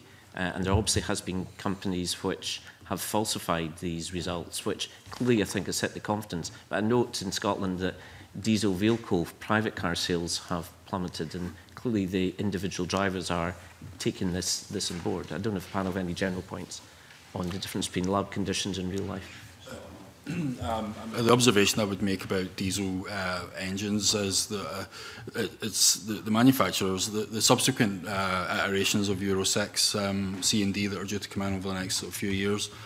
Um, it's very, it's quite difficult, a very difficult technological challenge to get to the emission levels that are being promised, even in the subsequent iterations of Euro 6. Um, it's, there is some confidence in that the, the, the testing regime has been tightened up to include real-world uh, driving conditions, but um, it's a tough, tough ta task. Um, and if we get to Euro 6 C and D and we still have an issue, um, we just have to use less diesel. Uh, it's not Euro 6 diesel, Euro 5 diesel, it's less diesel, just full stop, because um, a, even a, a, a brand new diesel car is going to emit probably 10, 15 times more NOx in a brand new petrol car. And it, going back to first principles, that solves the issue overnight. Um, mm. Right, thank you. John Scott. A had a question, but can one retrofit diesel cars? And you talk about retrofitting buses, or is it just not economically viable? Um, it's not economically viable to do that. I mean, the cost of uh, uh retrofitting a bus is about £15,000 per bus. That's, that's the cost of the technology. And then it takes up a lot of space, as you can imagine, in a, a bus's chassis and engine compartments. There's a lot more space to fit that into it. it, it's just not doable for, for, for cars and for smaller vans. Thank you. Okay, thank you. That's good to get that uh, clarified. Can I um, just move this on a little bit and ask the panel a kind of combined question around whether you would support congestion or other uh, direct charging to discover uh, to discourage driving into or within urban areas, and also perhaps let's take in the issue about the uptake of electric vehicles and the development of charging infrastructure. For example, would you be in favour of a requirement for all new build to have to have an electric vehicle charging point within? Who wants to go first? Scott Hamilton. Uh, David Duffy. right. Mine, because mine probably won't be as scientific as the other gents are. Uh, yes, we'd support any measure that's going to you know, improve public health. Uh, if congestion charging um, as part of a strategy and that's risk-based to reduce that, then yes. Um, however, we wouldn't see that as the first point because it would have other impacts. Um, on the second part about uh, widening the electrical vehicle infrastructure, um, yeah, more than support um, making that more available to encourage the use of the uh, EV. Um, I think on the first question of uh, congestion char charging, I mean, um, I, I'm, not a, a politician or a, a transport engineer, so I can only really speak to the the, the, the, the environmental benefits. We can think of the city as a big box, essentially. The less emissions we put in that box, the less exposure to high concentrations of pollution we have. Congestion charging would probably reduce the emissions in that box, so therefore um, I would definitely support it. Um, electric uh, vehicles, um, I think in cities like Glasgow, and I, I speak from personal experience, I, uh, I live on the third floor of a flat uh, a tenement building, and I, just can't get an electric vehicle because I can't charge the vehicle. Um, uh, so I think there's a big challenge in somewhere like Glasgow where a lot of the population live high uh, up high um, to even charge a vehicle. I would buy one tomorrow if I could make it work. Uh, so yeah, any more infrastructure is a good thing. That's right Ali. Um, yeah. yeah, I mean there is work being done in Glasgow at the moment because, as you can imagine, we do have a lot of tenemental properties and, and putting in that charging network is, is a challenge. But there, there is kind of new innovative work being looking at how we can do that. Um, yeah, within new developments, it's always a, a struggle for us to try and encourage uh, developers to put in uh, uh, charging points because um, they maybe don't think there's going to be the demand that, that we we do. You, know, you build it and people are maybe more likely to, to use it in the future. So yeah, more charging points definitely a, a, a good thing. In terms of congestion charging, I mean, I'm just talking purely from a personal point of view because it does become a political issue when you get to congestion. Um, I, I believe at both national and local government level, there's uh, no desire to see any road user charging being introduced. Um, but from an air quality point of view, anything that cuts down on congestion will have a positive impact on air quality. Okay. Does anybody else want to come in on this? No? Uh, Mark Roskell? A, brief follow-up point to um, Dave Stewart's point about um, cars. Um, I mean, how significant are cars as a component of air pollution within our cities? Or is it more about cars' role in terms of creating congestion, which then means that our freight and, and buses are stationary and, and emitting more? just trying to get a sense of kind of where cars sit within the overall problem that we have and what, what contribution they're making to this problem. Um, well, we've got quite a lot of uh, new modelling data that's been provided uh, through part of our work that we're doing looking at low emission zones and it varies from street to street so on a street like Great Western Road cars will be contributing 70% of the, the, the levels of air pollution that we're recording um, but then you go to Hope Street uh, and it's 70% from buses Um, so it depends on the, the, the type of traffic uh, and how it's moving uh, in, in that area. Um, but where it becomes interesting is that in Great Western Road, while cars are the main source of pollution, the objective's been met. Um, so it's, it's, it's, it's a mixed picture, and within the city centre, there are some streets where it's half and half cars, half buses. But what's important is from the car component, it's over 90% diesels that are producing the emissions. It's not the petrol vehicles within that. Uh, and we've got some some data. I'd be happy to send on if the panel would be interested in seeing it, um, which uh, which quite clearly shows the breakdown of the different types of fleet, whether it's buses, taxis, HGVs, vans, and even within the car component, how much of that's diesel and how much of that's petrol, and it's the diesel cars. So it's diesel cars and buses that are the main issues within Glasgow. Okay, Scott Hamilton, then David Duffy. Um, the, the, Scottish local authorities, indeed all UK local authorities, have been looking at this problem since 1997 and have been tasked through the local air quality management legislation to conduct what's called source apportionment. So there'll be, I mean, every local authority in the country that has an AQMA will have gone through the process of apportioning the relative importance of sources to inform local action planning. So there, there's a huge amount of evidence already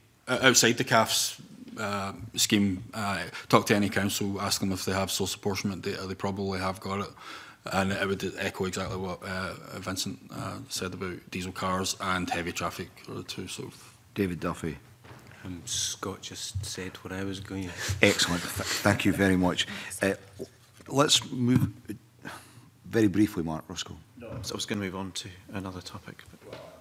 Well, um, uh, Emma Harper in. It's just a final question about, um, we haven't uh, talked about Brexit yet, but I'm wondering what the panel would think of any impact uh, Brexit will have on air quality in Scotland. Mark Sutton.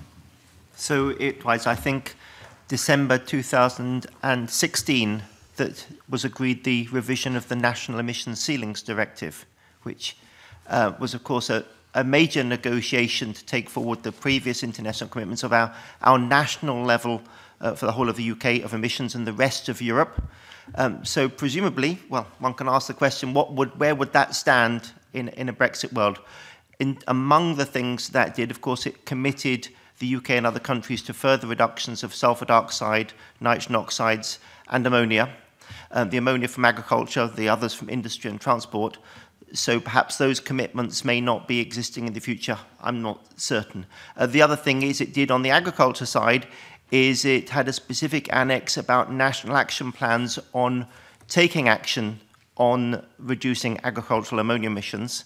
Um, that, that annex was not in the 1999 one, um, so it was a new commitment. And uh, of course, presumably that may or may not go forward in a post-Brexit world. So we really are in a, we've heard a lot about the city level pollution in this discussion, particularly the nitrogen oxides. And, and yes, the nitrogen oxides, high source from cars, also industry, um, the ammonia contributing to the particulate matter from agriculture is more that, that high level of background PM that's coming into our cities, meaning we've got even worse levels. Um, and really, the European legislation um, together with the United Nations Economic Commission for Europe. They have a, an approach, but it's not as strong as the European one. So without that European one, the UK legislation is missing and something else would need to be put into place. Anyone else on Brexit?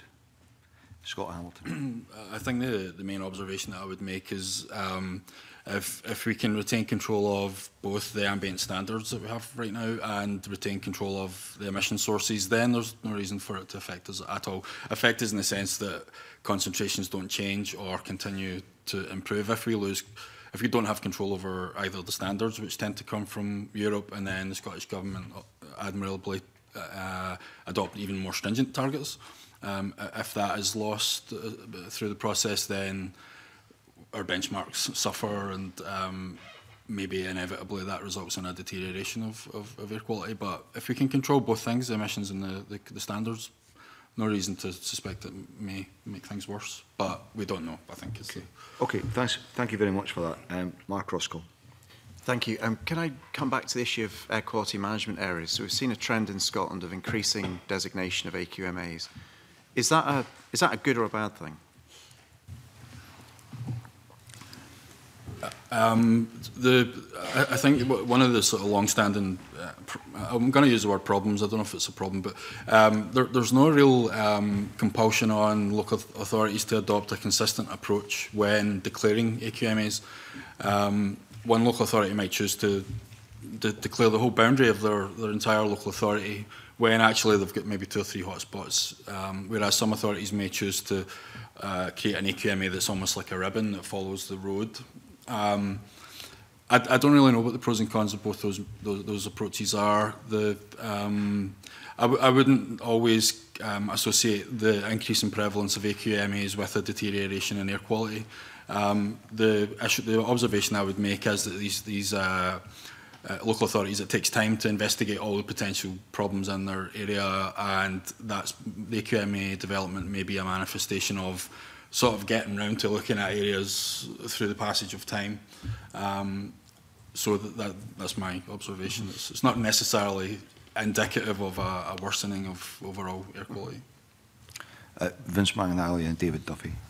Uh, I would just make the point that in Glasgow we've of course revoked our uh, citywide air quality management area and we are looking, because the air quality targets have been met, and we are now looking to revoke our Parkhead Cross air quality management area if the figures for 2017, when they're completed, uh, show that the, that area continues to meet uh, the objective for NO2, we will revoke that. So we are kind of going in the opposite direction in reducing the number of air quality management areas because of the improving picture in air quality.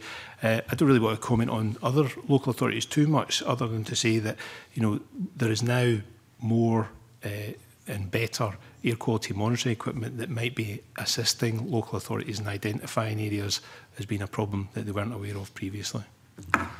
David.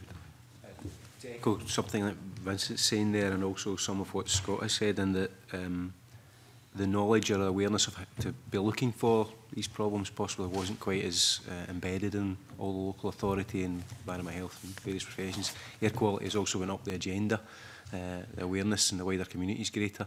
The infrastructure is miles better now than it was before in terms of the monitoring.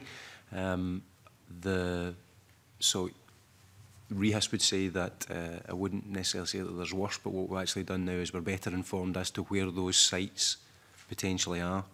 Um, so identifying the hotspots or the problem areas are better now, whereas we probably weren't aware of them in the past.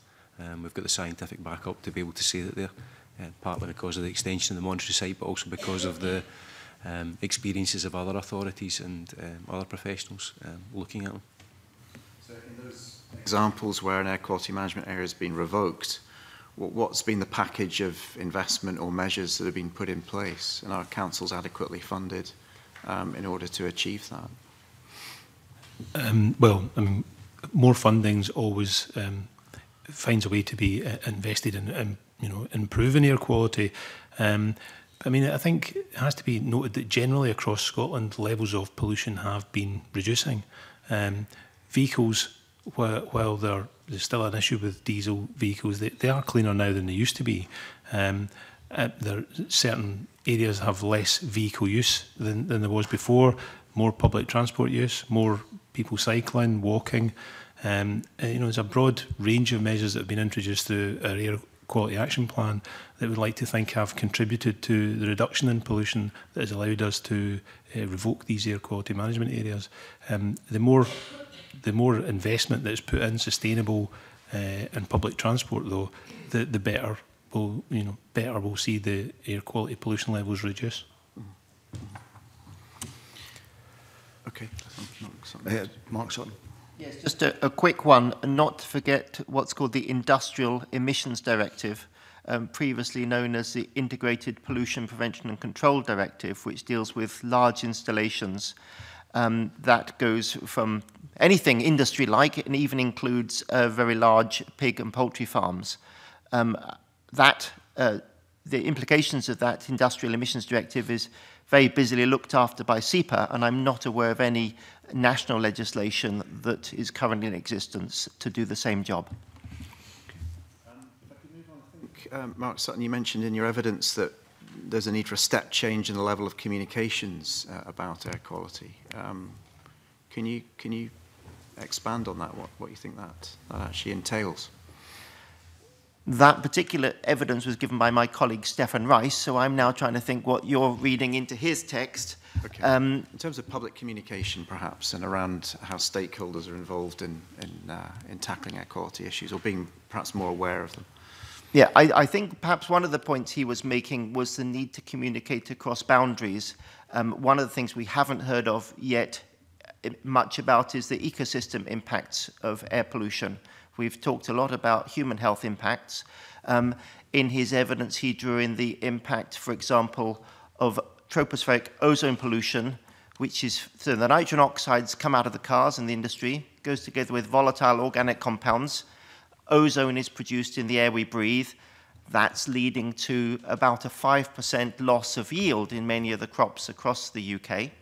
Um, so it's got agricultural consequences. So that's something that, for example, isn't strongly in the, in the current narrative, which is very much just dominated by human health effects of people in cities. And I think in that he was drawing attention to the fact that there are multiple other benefits we should be thinking of. Of course, it impacts also on semi-natural ecosystems. So uh, Scottish Natural Heritage is charged with protecting uh, nature reserves of Cost Scotland, um, currently designated as special areas of conservation or eyes, those will, many of those will be being impacted by the same air pollution that is affecting human health. Mm -hmm. So we've got crops, nature, and ecosystems. And I think perhaps he was uh, wanting to encourage towards a sort of holistic health, ecosystem health perspective that joins these all together. And there's a higher level of awareness needed of those connections. Yeah. Um, I understand that point. I think there was another point made, though, also about health services, educational institutes, whether we have the right public information available uh, within our cities and towns about air quality. So I don't know if anybody wants to, to comment on that in terms of what, what a step change in terms of communications might look like, particularly as we move to roll out local uh, low emission zones. I mean, I, th I, think the observation that I would make, and again, I'm not a communications uh, specialist, but I think a lot of the successes that we're seeing right now are around education um, and schools, and uh, maybe perhaps if uh, uh pollution was a, uh, um, a, a, large uh, component of school curriculums. Um, but I mean, the, the, the trouble with um, like like a very direct method of communi communication of say air quality conditions in a city right now is that the measurements that are leading to that are subject to some uncertainty and we you know not not massive uncertainty but certainly some some uncertainty so it's it's actually very technically difficult to give a reliable picture of the air quality conditions in a street at any given uh, moment um, so. what about public advice Um, I mean, if there was potential for a public advice scheme to not buy diesel cars, that would be a fantastic start. Um, and uh, the, um, I keep coming back to this point about diesel, but it is, it's, the, it's the elephant in the room, unfortunately. And um, so uh, the, the, the trouble with, um, I think, maybe um, advice, uh, uh, uh, depending on how that's framed. A, a, lot of the problems that are arising from vehicles are not the fault of the person that bought the vehicle, they're the fault of an engine that's not doing what it's supposed to do in the real world. So, um, and that, that goes out, that cuts across enforcement and education. You know, you, you get an enforcement notice for a car that you thought was clean. You know, uh, what, what do you do then? I mean, it's a very difficult uh, challenge, but um, the, the nub of this, doesn't it? It's a trust issue. Uh, and actually, the queer interest, I am a diesel driver. I, I bought one because I was told it was better for the environment, and many of us did. So I guess it's the almost the same people coming back and telling a, a different story. And, and you can understand why perhaps the public, some of the public, would be very sceptical about that absolutely essential advice that we need to give them. Yeah. Um, I mean, the, the I, I think the, the, the, the sort of dieselisation obviously was uh, a result of a, a drive to reduce uh, carbon emissions, and it is mm-hmm. demonstrably less uh, carbon intensive, but it is demonstrably more toxic pollutant uh, intensive. So,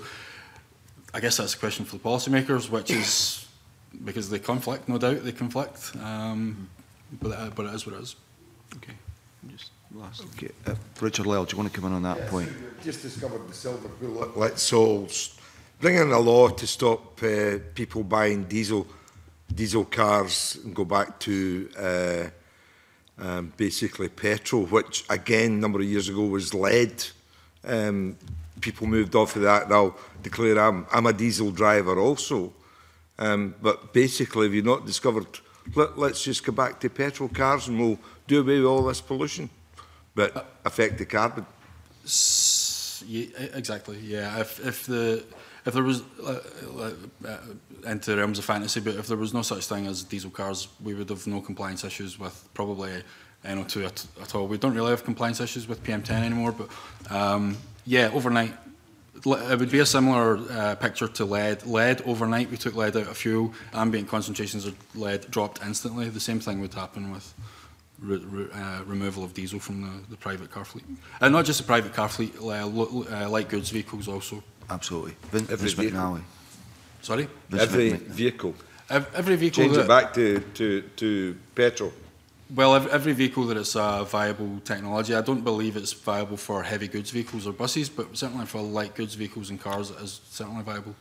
Vince McNally. Yeah, just I mean that's the that's the point. Um, not for buses, not for heavy goods vehicles, but I mean they can be Euro six of a, a uh, Euro six engine that does work in the real world.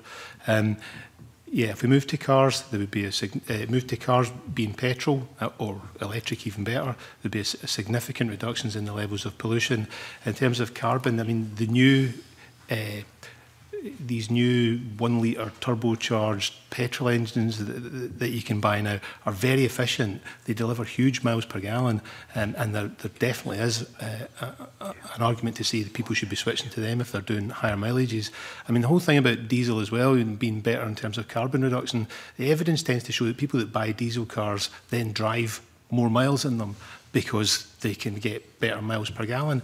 They buy heavier four-wheel drive vehicles that are less efficient.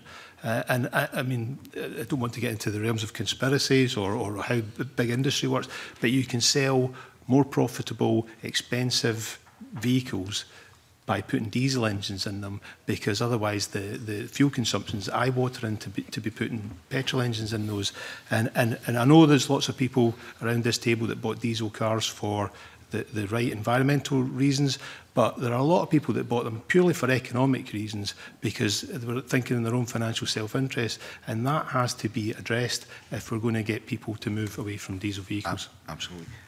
Uh, Claudia Beamish, then John Scott. Uh, uh, thank you, Convener.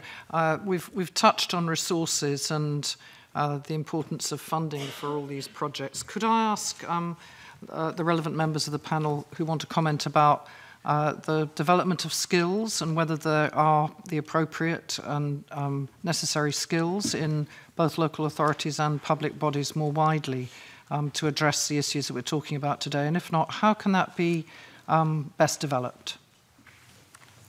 David Duffy. Uh, if, if in terms of the rehis position, we can only really speak about environmental health officers and folk who are affiliated to the environmental health profession.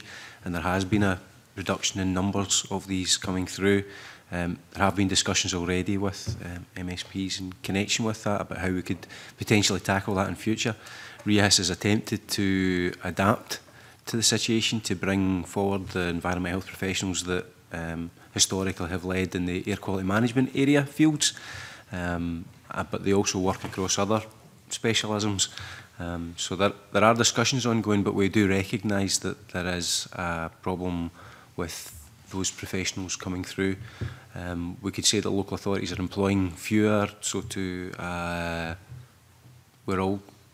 subject to those financial impacts um, within any of the um, local authorities or other enforcement agencies.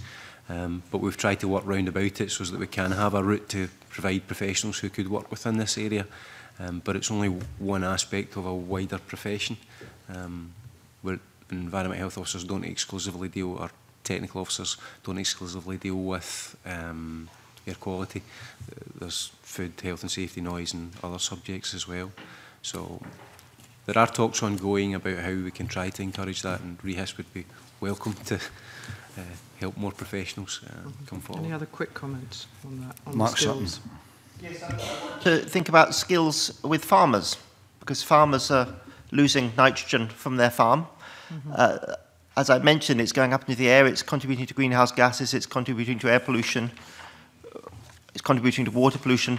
As the air pollution part, I think the, the dominant issue is the ammonia still. Uh, there have been concerns also raised about nitrogen oxides coming out of soils. That's the same stuff that's coming out of exhausts. And that's a small fraction historically compared with the car exhausts and the factories. But if we make progress with those sources, and the nitrogen oxides coming out of farming isn't addressed, it will become an increasing share. And we've estimated that up to 10 to 20% of uh, nitrogen oxides by 2030 in Europe could be coming from farming soils. So I think this points to also education for farmers, many of whom, of course, are educated in how to make their business run, um, but not necessarily educated in the nuances of how to reduce air pollution. So I think there's a case for better information on the technologies that might help them reduce air pollution and might help them save some money at the same time and give them the confidence where they might need to invest in equipment that that equipment will give them a payoff in due course. Uh, John Scott, then Scott Hamilton. Well, just declaring an interest as a farmer, i uh, with a vested interest in that regard, but uh, it, farmers are always interested in ways of saving money given the current viability of, of food production in this country.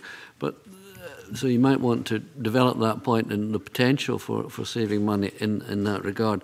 The question I specifically was going to ask earlier before this one kind of hijacked my thinking was agriculture, food production in terms of agricultural machi machinery, tractors, um, self-propelled vehicles.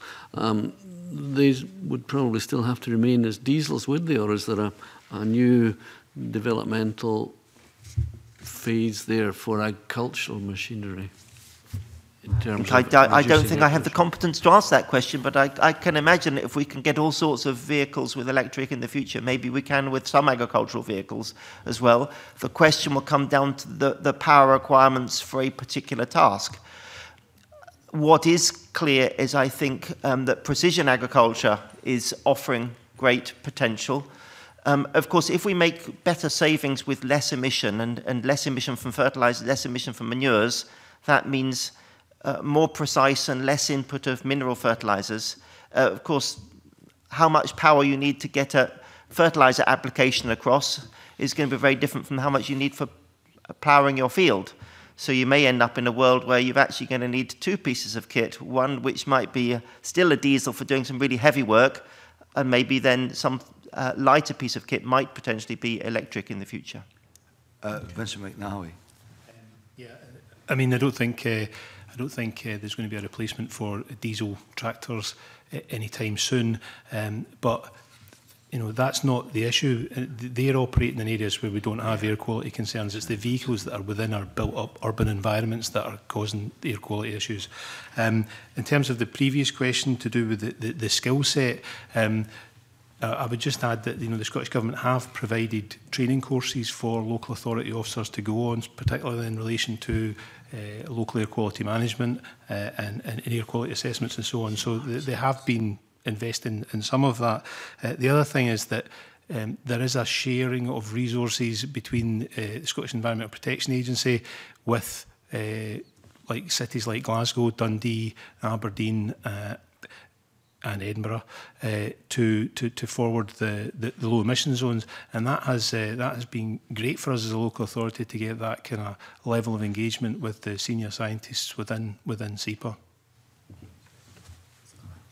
Okay, Scott Hamilton. So, uh, I just wanted to make a quick point going back to the question about um, education. Um, I, I think the observation that I would make, um, I, have a, a, strong involvement with a university in Glasgow. I'm a uh, supervised PhD student uh, through a link there, and um, the observation that I would make is that um, atmospheric science and by extension air quality is a fantastically complex field.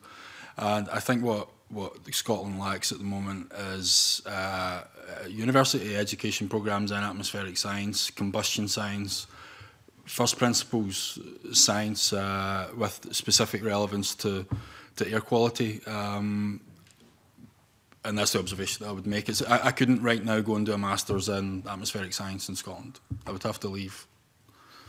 So that's okay. Mark Sutton.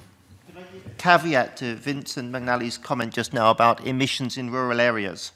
Um, and, if, and I think it's very important that we distinguish the different pollutants and the different impacts in this. So if it's a question of direct emission from an exhaust pipe contributing to NO2 or particulate matter, if that's the case and the tractor's out in the field away from people, less impact, fine.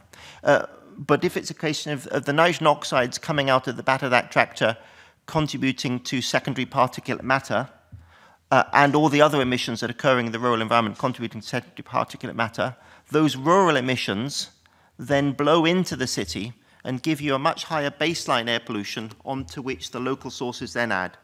So, so I think it would be wrong to say that any emission in a rural environment is not contributing to urban air, air pollution threats, uh, but we need to distinguish between the primary and the secondary pollution issues. Okay. Thank you for that. Uh, Richard Lyle. Uh, gentlemen, uh, can I pick up on a comment that Vincent McNally made earlier in, in, in, during the process? Uh, we have been told that and oral evidence that there were only 95 air quality monitors across Scotland. But uh, Vincent, you said that um, you have over 100 in Glasgow. I take it these are separate types of monitors. Um, well, uh, we've got over 100 monitoring locations within Glasgow, that's right. Um, I think 12 of them are fully automatic uh, monitoring stations, so they're all linked to um, the, the internet and the, the link to the Scottish Air Quality website so you can go in and pull off live data from them. Um, and they give us fantastic minute by minute data on what levels of pollution are like in that specific area, but there's only 12 of them. Yeah. So we supplement them with uh, a network of diffusion tubes, which are an accepted way of measuring the annual mean for NO2. Um, and there's approximately 100 of them at various locations in Glasgow, and we con constantly monitor where they are um, to see whether or not they need to be moved to a, a better location, whether we've had years' worth of data where it's shown that the levels of pollution there are particularly low, we could, we could relocate them somewhere more appropriate. And that's all included within our annual progress report and within our reporting to the uh, Scottish Government about the levels of air quality that we have within the city. Right, can I ask the panel, do you think that Existing monitoring stations are in the right places and collect the right data to provide a, a broad picture of air quality across Scotland. Should we have more monitors like, uh, I'm very pleased that you do have that, those in Glasgow and, and have a, a broader coverage of the right across Scotland? Um, I think if the observation I could make, um, as a as an air quality scientist, um, I would much prefer to work with measurements from uh, an automatic station that's subject to European standards of quality assurance and quality control.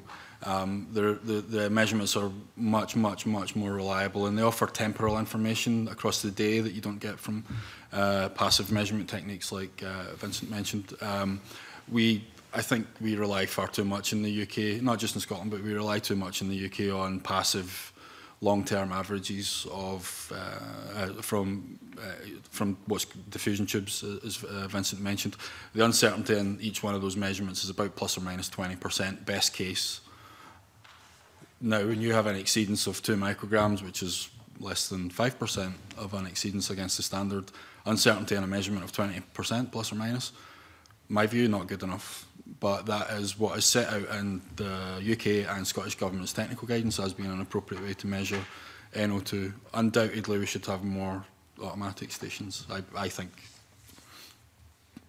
Anyone else on that? Anybody else? Okay. Mr Lyle, any further right, questions?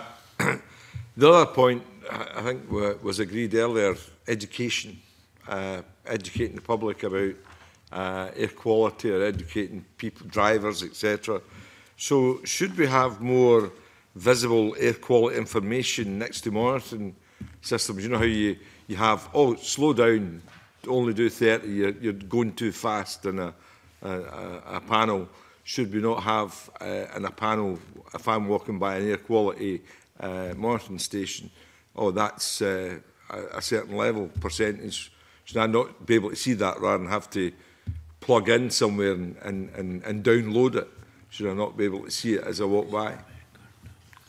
Uh, yeah, that, I mean, that's something that we looked into before. Um, you know, they've got the Internet of Things, why, why not make the information available to people?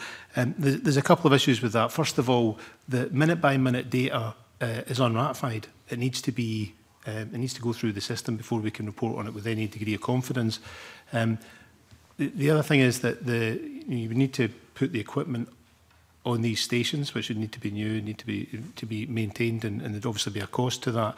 Um, but the information is already available. Most people have smartphones. They can easily connect to the Scottish Air Quality website.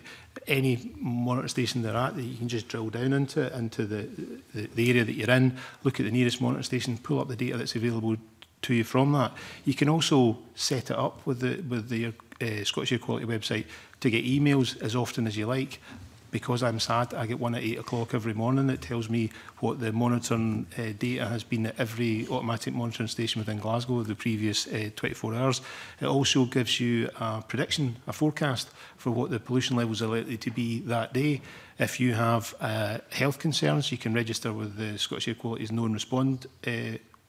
website, which I think sends you texts if you have underlying health conditions that will tell you if you're likely to experience um, um, levels of pollution where you could you know, avoid it by either staying indoors or or, or, or even just cut down on any strenuous activity. But we're very fortunate that the levels of pollution that we experience in Scotland are generally low all year round. We don't really have many episodes where uh, pollution levels are high. So the, the data is there, people can access it. Um, there probably are ways that could be done better. I mean, we certainly looked at in the past putting these QR badges on the side of stations where you know you your phone takes a picture and it automatically lets just to make it a bit easier. It's not, that's not been followed through on. Um, but in terms of engaging with the public, there probably are areas that we could look to, to, to, to, to make it simpler for them to find out what the data is within their area. So would you agree that a level of detail in uh, Clean Air for Scotland CAF's annual report is adequate to scrutinise progress and, and what we're doing? I think so. I think the, the CAFS has been a, really positive uh, development in terms of air quality uh, work that's that's getting done within Scotland. Uh, and you know, if people want to read the information that's in it, it'll, it'll give them a good update on what's happening right across the, uh, uh, Scotland. Carson. Thanks, Convener. My, my question is on the back of um, the, the number of monitors as well, but also the use of, of data. Um, there's always an argument we could have lots more monitors of certain types, but do we not have the information and data available um, from MOTs, uh, car specs on what their emissions are likely to be at different speeds? We've got uh, weather reports telling us what the, the condensation levels are going to be, the humidity, the wind direction, whatever. Um, we've got monitors on the road that looks at car speeds, vehicle lengths and whatever. Um, and, and also the, the, the increased use of automatic number plate recognition software so we know what vehicles are, are moving down Hope Street or, or up whatever street. Is there not um, scope for using more modelling to actually provide uh, real-time estimates of what air pollution is and is that not the way forward? And a supplementary to that is, you know, we're looking at uh, low emission zones. How much joined up thinking is, is there around the digital cities where, uh, again, number plate recognition uh, can be used for uh, traffic management uh, and, and billing or parking or whatever.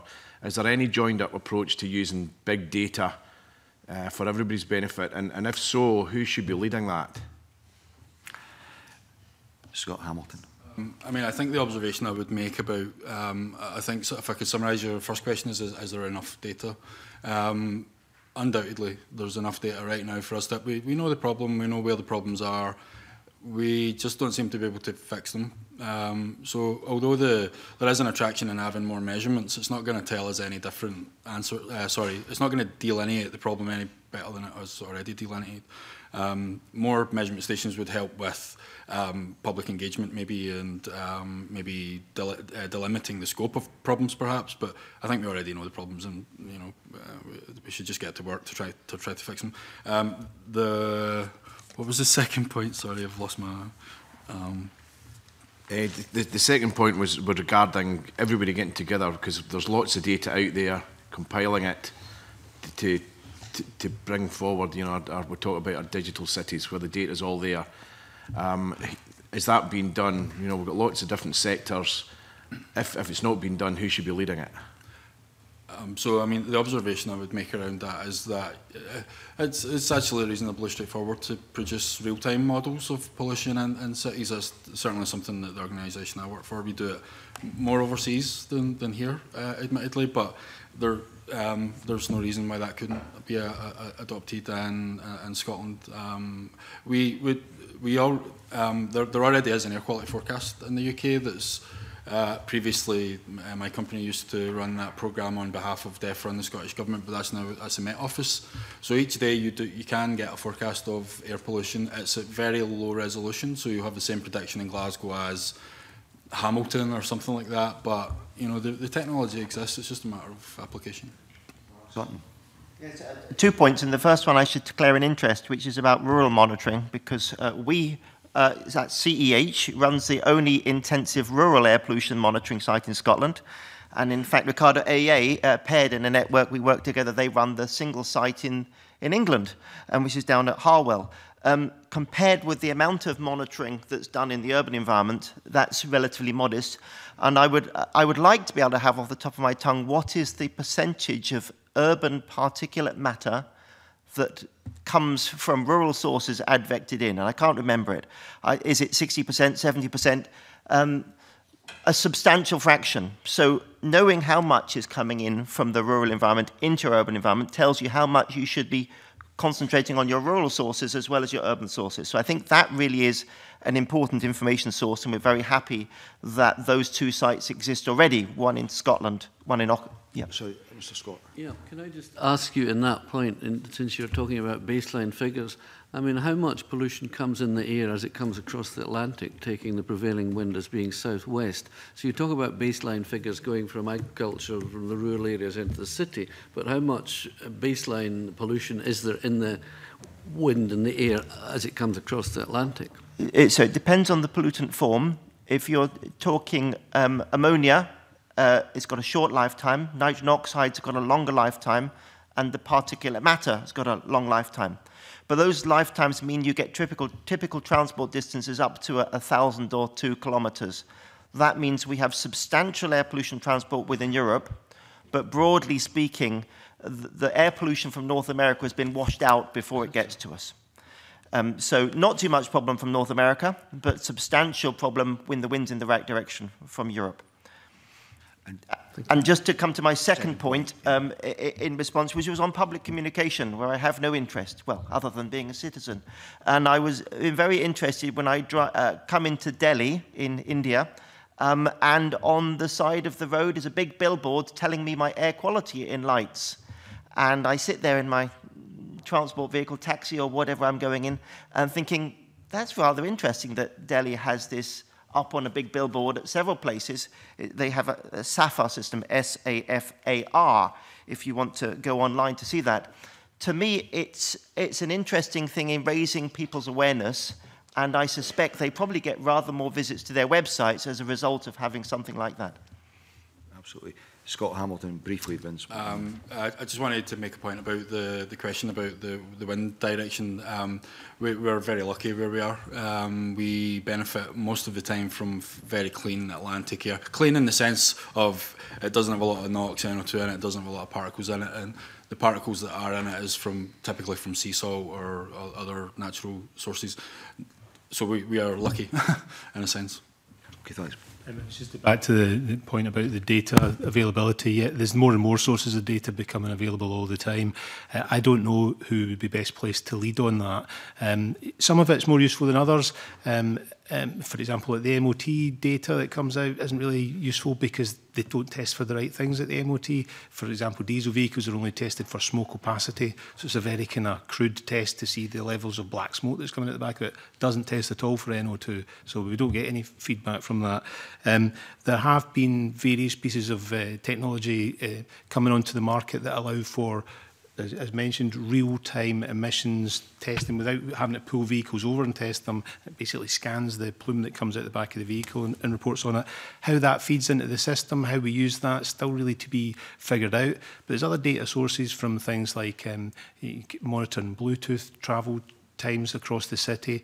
That can help feed into looking at ways of better resolving traffic congestion in real time, and that will have an impact on air quality. So it is being looked at. I don't know if it's been looked at, uh, you know, eh, on a kind of wider basis for UK or Scotland wide, but it is being considered as as part of the work that's being done to to, to fully model the air quality impacts within the cities. Okay, thank you. We need to move this on. Uh, John Scott. Um, thank you. Uh, I've got a um, particular question for Mark Sutton, um, and I would like to ask him what work um, CEH have done uh, to map and assess the impact of nitrogen emissions to air quality in Scotland and what the results were if you've done that work. Uh, uh you may have already in part answered some of that, but there is a point to this series of questions. Okay. Um, the first off to say is that that work has primarily been focused on the United Kingdom scale, Um, so it's under the lead of DEFRA and the devolved administrations contributing into that. The first step is working out what the emissions are and mapping those emissions. So we work together, again with um, Ricardo AEA, um, we particularly take responsibility for mapping the agricultural emissions and they will take responsibility on traffic sources, for example, and then sharing various other sources.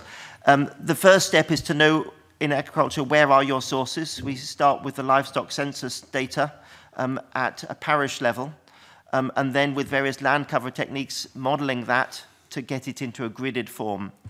And those inventories then give us how much air pollution is coming out across Scotland. Um, for many of the sources, we have them at one kilometre grid resolution. Um, so there's emissions going up into the atmosphere, and then we're using atmospheric transport models to blow it around and let it come back down. That simulates the air concentrations and also the total amounts coming back down again as a deposition. So those are the kind of tools we're doing. And then I mentioned about the air quality monitoring, which provides uh, validation data to that. The intensive site, which is at Ockenkorth near Pennycook, um, which is a, uh, a rural site, is giving data at which we can then test these models, test their validity. So we have a, a clear view of what's coming up, uh, what's coming down, of course, necessarily with uncertainties as well and, and uh, some understanding of those uncertainties. Thank you. Um, would you want to say anything, Scott Hamilton, about um, Ricardo's contribution to that monitoring or not? It's not part. It's not a project I'm specifically involved in, so it'd probably be best to leave that to colleagues. Okay, right. Thank you. I mean, uh, again, for Mark Sutton. I mean, what policy gaps might there currently be in that? Is there some way that that could be better enhanced, and, and not just for you, given your wide knowledge of this, not just in agriculture? Yeah. Um, well, I think in terms, if I if I look at the bigger scale rather than the city scale, and I, and I'm linking back here to discussions that I've contributed to in the United Nations Economic Commission for Europe, and, and they signed a revision of the Gothenburg Protocol, um, and then the revision of the National Emission Ceilings Directive, which followed that um, two years ago. And I look at the steps forward that countries have made. Um, they made further steps forward in reducing sulfur dioxide to the extent that sulfur dioxide emissions are so tiny now by comparison um, to the extent that farmers will often be needing to put some sulfur fertilizer on. But of course, that's okay because it means that the, the is not depositing onto the forest. We've largely got rid of our acid rain problem. So there was a reason for that. Um, the nitrogen oxides, again, they've committed to substantial further reductions. So um, how that is achieved, of course, that's up to the, the national plans, um, but industrial sources making progress uh, in particular. I think, although I will keep coming back to agriculture, I have to do so uh, because the level of commitments made by the countries for agriculture have been very modest by comparison. And that, of course, is a social debate, particularly when you've got a subsidized industry that's doing its best to uh, make ends meet. Um, but quantitatively, much less ambition has gone into that. Um, so I'm not going to say, what, I can't say what is the way forward, what is the right way, because when I see a world with tough regulation, I see that that can be rather divisive as well, and it means that people sort of get stuck in the mud and not wanting to do something. Um, conversely, a world with incentives and let's all work together can be more constructive. But it's fair to say that uh, the UK is, for example, committed to something like an 8% reduction in ammonia emissions by 2030. 8% reduction. Um, the Netherlands achieved a 50% reduction uh, between 1993 uh, and the present. Um, and so, you know, some countries have shown where they really were willing, they could do things. The interesting thing is that the, the feedback I get from many stakeholders is, if you did that here, you would bankrupt us. And yet the interesting thing is that the Dutch farmers are still in business somehow, mysteriously. Um, and I think there's something much smarter going on here that we haven't really realized in this kind of should it be regulation or not, or voluntary, whatever. It's how to gradually nudge forward the education towards smarter approaches that we wouldn't have otherwise thought about. So I, I can't say whether regulation is right or not. Um, but I think we somehow have to be smarter in going forward so that people can see their opportunities, bearing in mind that much less has been done in the agricultural sector than in the, than in the car sector, than in the industry sectors. So whose role would you see that as being the use of nudge theory, which I think most so I, I think most farmers would be up for um, saving costs, doing things better, Um, I mean, farmers essentially are also very much involved in food production, which is quite important, notwithstanding to uh, food security issues in terms of feeding our nation. So um, perhaps you'd like to talk a little bit more about the Netherlands, the situation in the Netherlands. What were the key barriers to development and implementation of this better, mm. improved policy than the one which you say we have here? Yeah. Well, the, well They've certainly gone a lot further, and so the Netherlands agreed around 1993. They said all of our manure will be spread uh, into the soil rather than on the surface. So they committed to injection and the deep injection of manure going into the soil surface. Um, in Denmark, um, they um, did that, but then not all the farmers wanted to inject. So um, other in the, as a thing developed, other people came up and said, we'll do a combination of acidifying our slurry together with a surface application in what is called a trailing hose.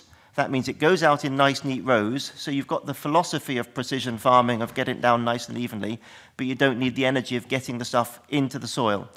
Now, those two policies on how we spread our muck at the heart of what they've achieved. That's where the big achievement has come. But then onto that, then they've added good manure storage so that all their manures have a, have, uh, they don't have open manure storage at all. So they've committed to that. Um, of course, that comes down to how you design the system. If you've got an open lagoon, it's going to be much harder to cover it than if you've got a tank-based system. Um, to me, I think the question is, it's a long-term development as equipment turns over. Um, and, and that comes, of course, with the housing systems. because when it comes to low emission animal houses, that tends to be the most expensive thing to do. They've committed to those as well, so you won't be operating a pig farm without scrubbing the air coming out the back of it if you're in Denmark or the Netherlands. Um, but the, that would be that you would, if you're going to rebuild your building in due course, make sure when you rebuild, rebuild with the latest technology. Um, you, they've gone to extreme lengths. Now, whether this is right or wrong, I don't know. I'm just reporting it. Um, because, interestingly, some of the farmers decided they didn't want to run the scrubbers on their buildings. Um, So the, in, the, in the game of cat and mouse, the government came in and installed smart meters on the animal houses. So they know they're actually being turned on. Is that good or bad? I don't know. It's certainly meaning that they're going to be uh, more diligent uh, in extremis of reducing the emissions. So let's compare compare that, I think the first thing to realize is that they've got a, you've got a chain. You've got, and I would work back myself from the farmer perspective of this is manure, I want to use it well, start in the field, and I want to get the best out of it.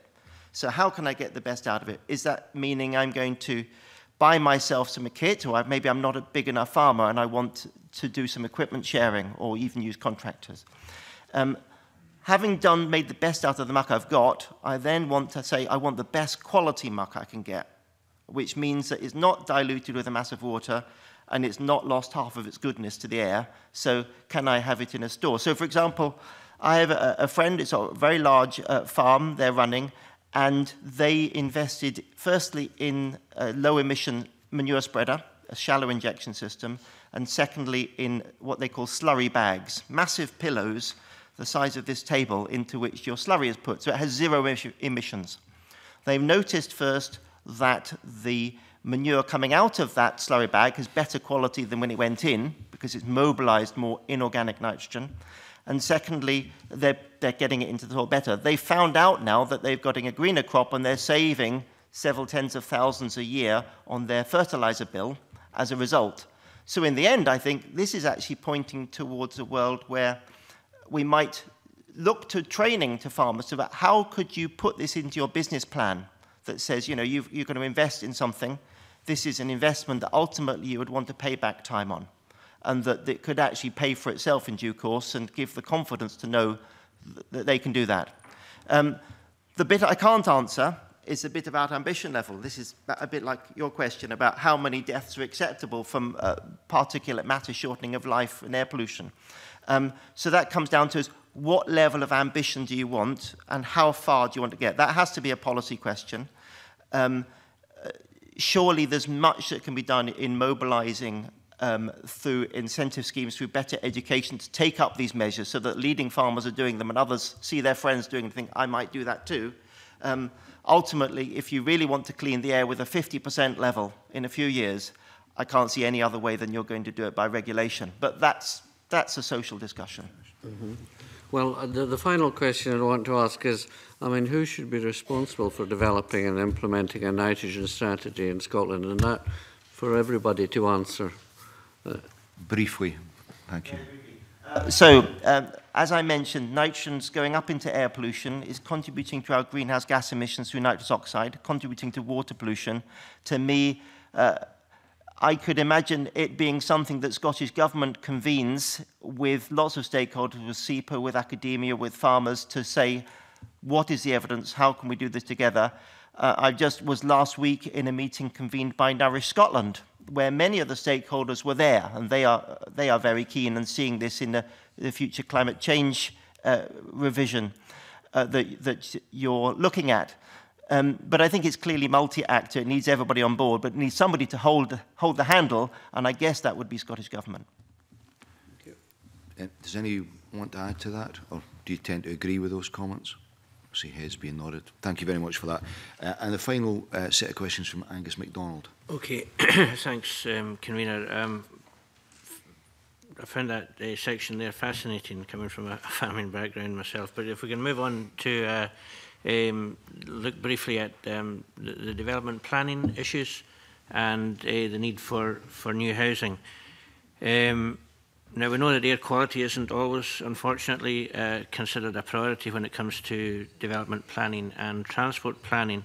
Um, so, um,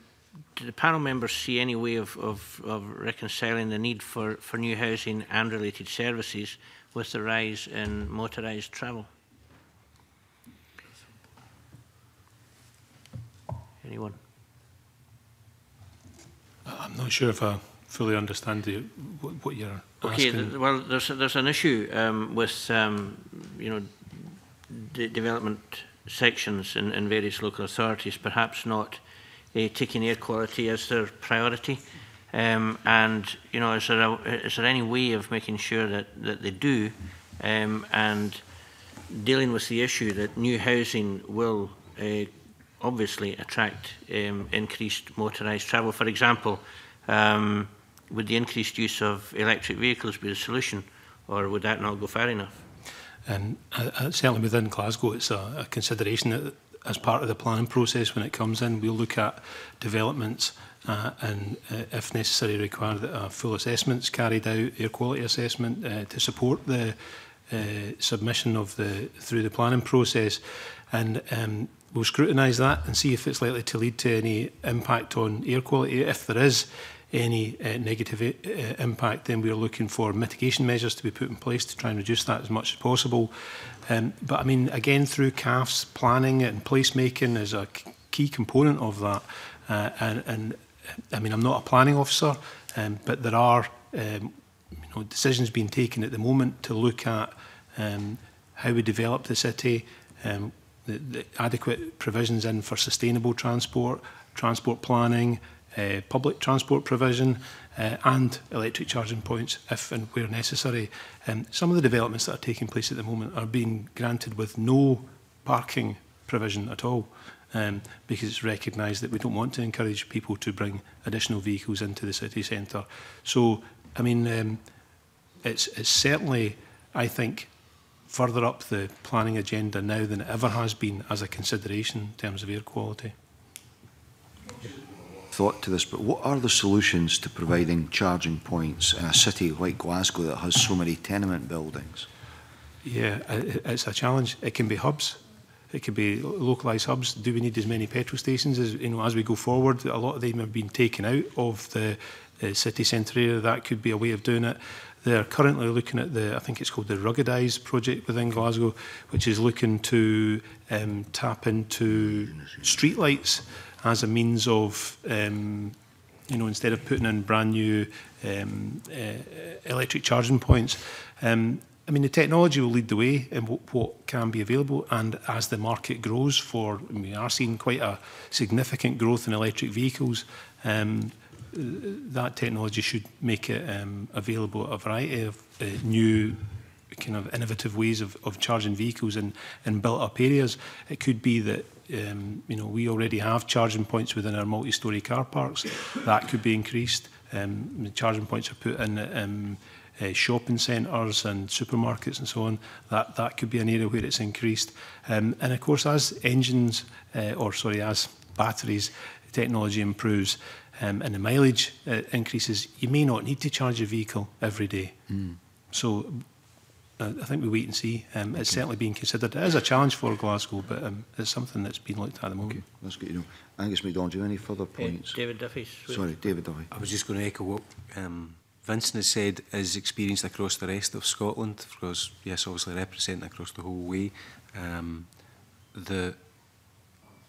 Scottish Government has given training for planners. Mm in air quality, which is helping inform them to consider air quality more as an impactor. That also informs anyone who's actually contributing to a housing strategy within any of the local authorities. Um, the raised agenda of air quality within that also informs the um, local development plans. And as Vincent said, um, there is guides about where thresholds would be breached for housing size. So if there was a major new development, it would trigger the thought of where are those impacts. And planners, in my experience through the networks and the pollution groups, are becoming more aware of that they can get um, agreements either by better walkways, access to routes, monitoring before and after, um, not just within housing but also in commercial settings where there are large-scale developments. Um, certainly in my experience so far, that that's further up the agenda within um, developmental control and also in, in housing developments. So, uh, so hopefully that will um, improve as we go on, as the housing demand's met. Okay, thanks. Sh should there be, for example, a condition in any planning application that's granted for houses, not uh, not uh, flats, that a, a, an EV charger must be in every drive? Is, is that a way? Depends. It de depends on the particular development that comes in, what the challenges, you know, where that's situated. It wouldn't be a bad thing. It wouldn't be a bad thing going forward because it's a lot more expensive to put these things in after the event than to put them in at the time when the, the building's been put in place. Um, and certainly, you know, if it was a new development within within the city centre, a significant new development, we would be looking for charging points within it. But I mean, I don't know if that's the case across Scotland and, and more rural and urban authorities, if it's even appropriate. Okay. David Duffy. Briefly, just to say, uh, uh, uh, the other officer who helped contribute for uh, uh, Rehis, contribution works within Edinburgh City Council and they have a strategy for delivering that and how they approach where their target and threshold is for deciding whether um, EV points will go in. Um, Rehis took the opportunity and we bought one um, and helped put one in. Um, that were just re-badged because it was a good contribution, but it was through Edinburgh City Council's strategies of delivering that. So perhaps other local authorities can learn from uh, their strategy. Okay, and with regard to retrofitting, how much would one of these cost? Um, I'm not sure about retrofitting. I know that the one that Rhea's paid for, um, the total cost was under 5,000, but it's very dependent upon which type of unit you purchase. Um, it's fast charge, soft charge, uh, yeah. uh, uh, Okay, thanks. Thank you. Mark Roscoe, very briefly. Examples of planning applications that have been turned down as a result of impact on air quality or housing allocations that have been shifted within a local development plan within Glasgow or elsewhere? Eh, I'm not aware of any at the moment that have been, or, or recently that have been refused. Um, I mean, there is a change in how applications come in now, uh, you know, a lot of them are front-loaded that they have considered air quality and that they have designed it or looked to mitigate the impact of the the, the development taking place. So, I mean, we sometimes go back with suggestions for conditions that go on planning consent, um, but I mean, I'm not aware of any, say, within the past 10 years that have necessarily been refused purely on air quality conditions. um, there, uh, an example that I was involved in in Perth um, and 2011, 12, um, was uh, uh, essentially a domestic uh, waste uh, waste after treatment uh, incinerator that was planned for Perth city centre, and I was the expert witness on behalf of the council, and the development was uh, rejected by the Scottish government's reporter on air quality grounds and odour. But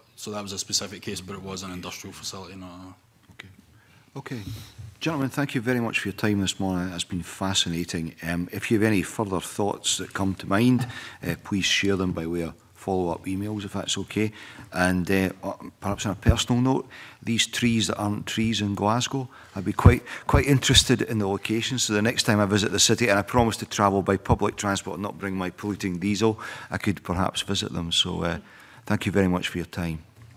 Okay. The uh, third item on our agenda today uh, will see the committee consider the following negative instruments. The development of water resources, designated bodies, modification, Scotland Regulation 2017, SSI 2017 forward slash 347, and the water and sewerage services to dwellings, collection of unmetered charges by local authority Scotland Amendment uh, Order 2017, SSI 2017 forward slash 348. I refer members to the papers and I invite any comments. Uh, Richard Lyle. Right, I noticed that uh, this relates to the water sewage services to dwellings collection of unmetered charges by local authority makes each local authority responsible for the collection of charges payable for water services, sewage services provided by Scottish Water to dwellings in their council area. And it amends the 2014 order, extends it for a further two years from 2018 to 2020. Also note that negotiations are concluded that at Cosler's request during the two-year extension period, the Scottish Government will carry out a formal review of the collection options to inform the next order. This review should get underway later this year. But I also hope that this review will show that um, This should stay with councils uh, after a review. I note that the total amount deducted for the cost of collection in relation to services provided in each financial year was fixed at 18.25 million and by my calculations on average each council will get over a half a million pounds for collection and water charges and I hope this will stay with councils as an additional uh, um, uh, added uh, revenue for councils. Okay. Thank you, Convener. Okay. Does any, anyone else have any comments to make on these instruments? No. Um, so is, if, given that the committee does not wish to make any recommendations in relation to these instruments, that's duly noted. The fourth item on the agenda is for the committee to consider uh, petition PE 1636 by Michael Trail, which calls on the Scottish Government to urge the uh, uh, sorry, calls on the Scottish Parliament to urge the Scottish Government to introduce legislation requiring all single-use cups to be 100% biodegradable. Details of the committee's previous work on the petition are set out in the papers, uh, which suggest a range of possible options available to members. Can I uh, invite any comments and suggestions on ways forward? John Scott. Um, thank you. Um, well, I welcome uh, the letter um, from uh, the Minister in this regard, Minister Rosanna Cunningham. Um, um, and I think I welcome the fact that uh, Zero West Scotland are to look into this and also that there's a new expert panel uh, to be appointed to look into this to see if something uh, can be done to reduce the impact of uh, this problem. Um, and I think that's very much uh, good progress on behalf of the government. Um, so I'm happy that that is happening.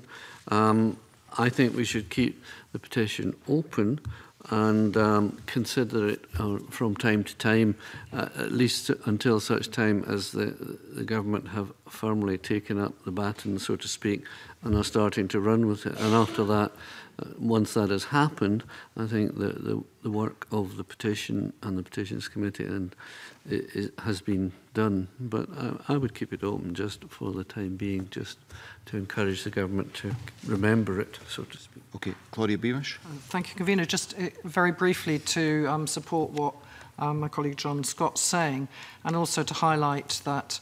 Um, this is one of a range of ways in which we can be reducing waste, but also um, simplifying waste for the future. And I think um, this will help to focus minds um, on this is one of the options and an important one, but there are a whole range of other ways in which we can have um, simpler packaging, uh, although there are things that we certainly still will be needing packaging for. So I, I would support it being kept open to help focus minds. Okay.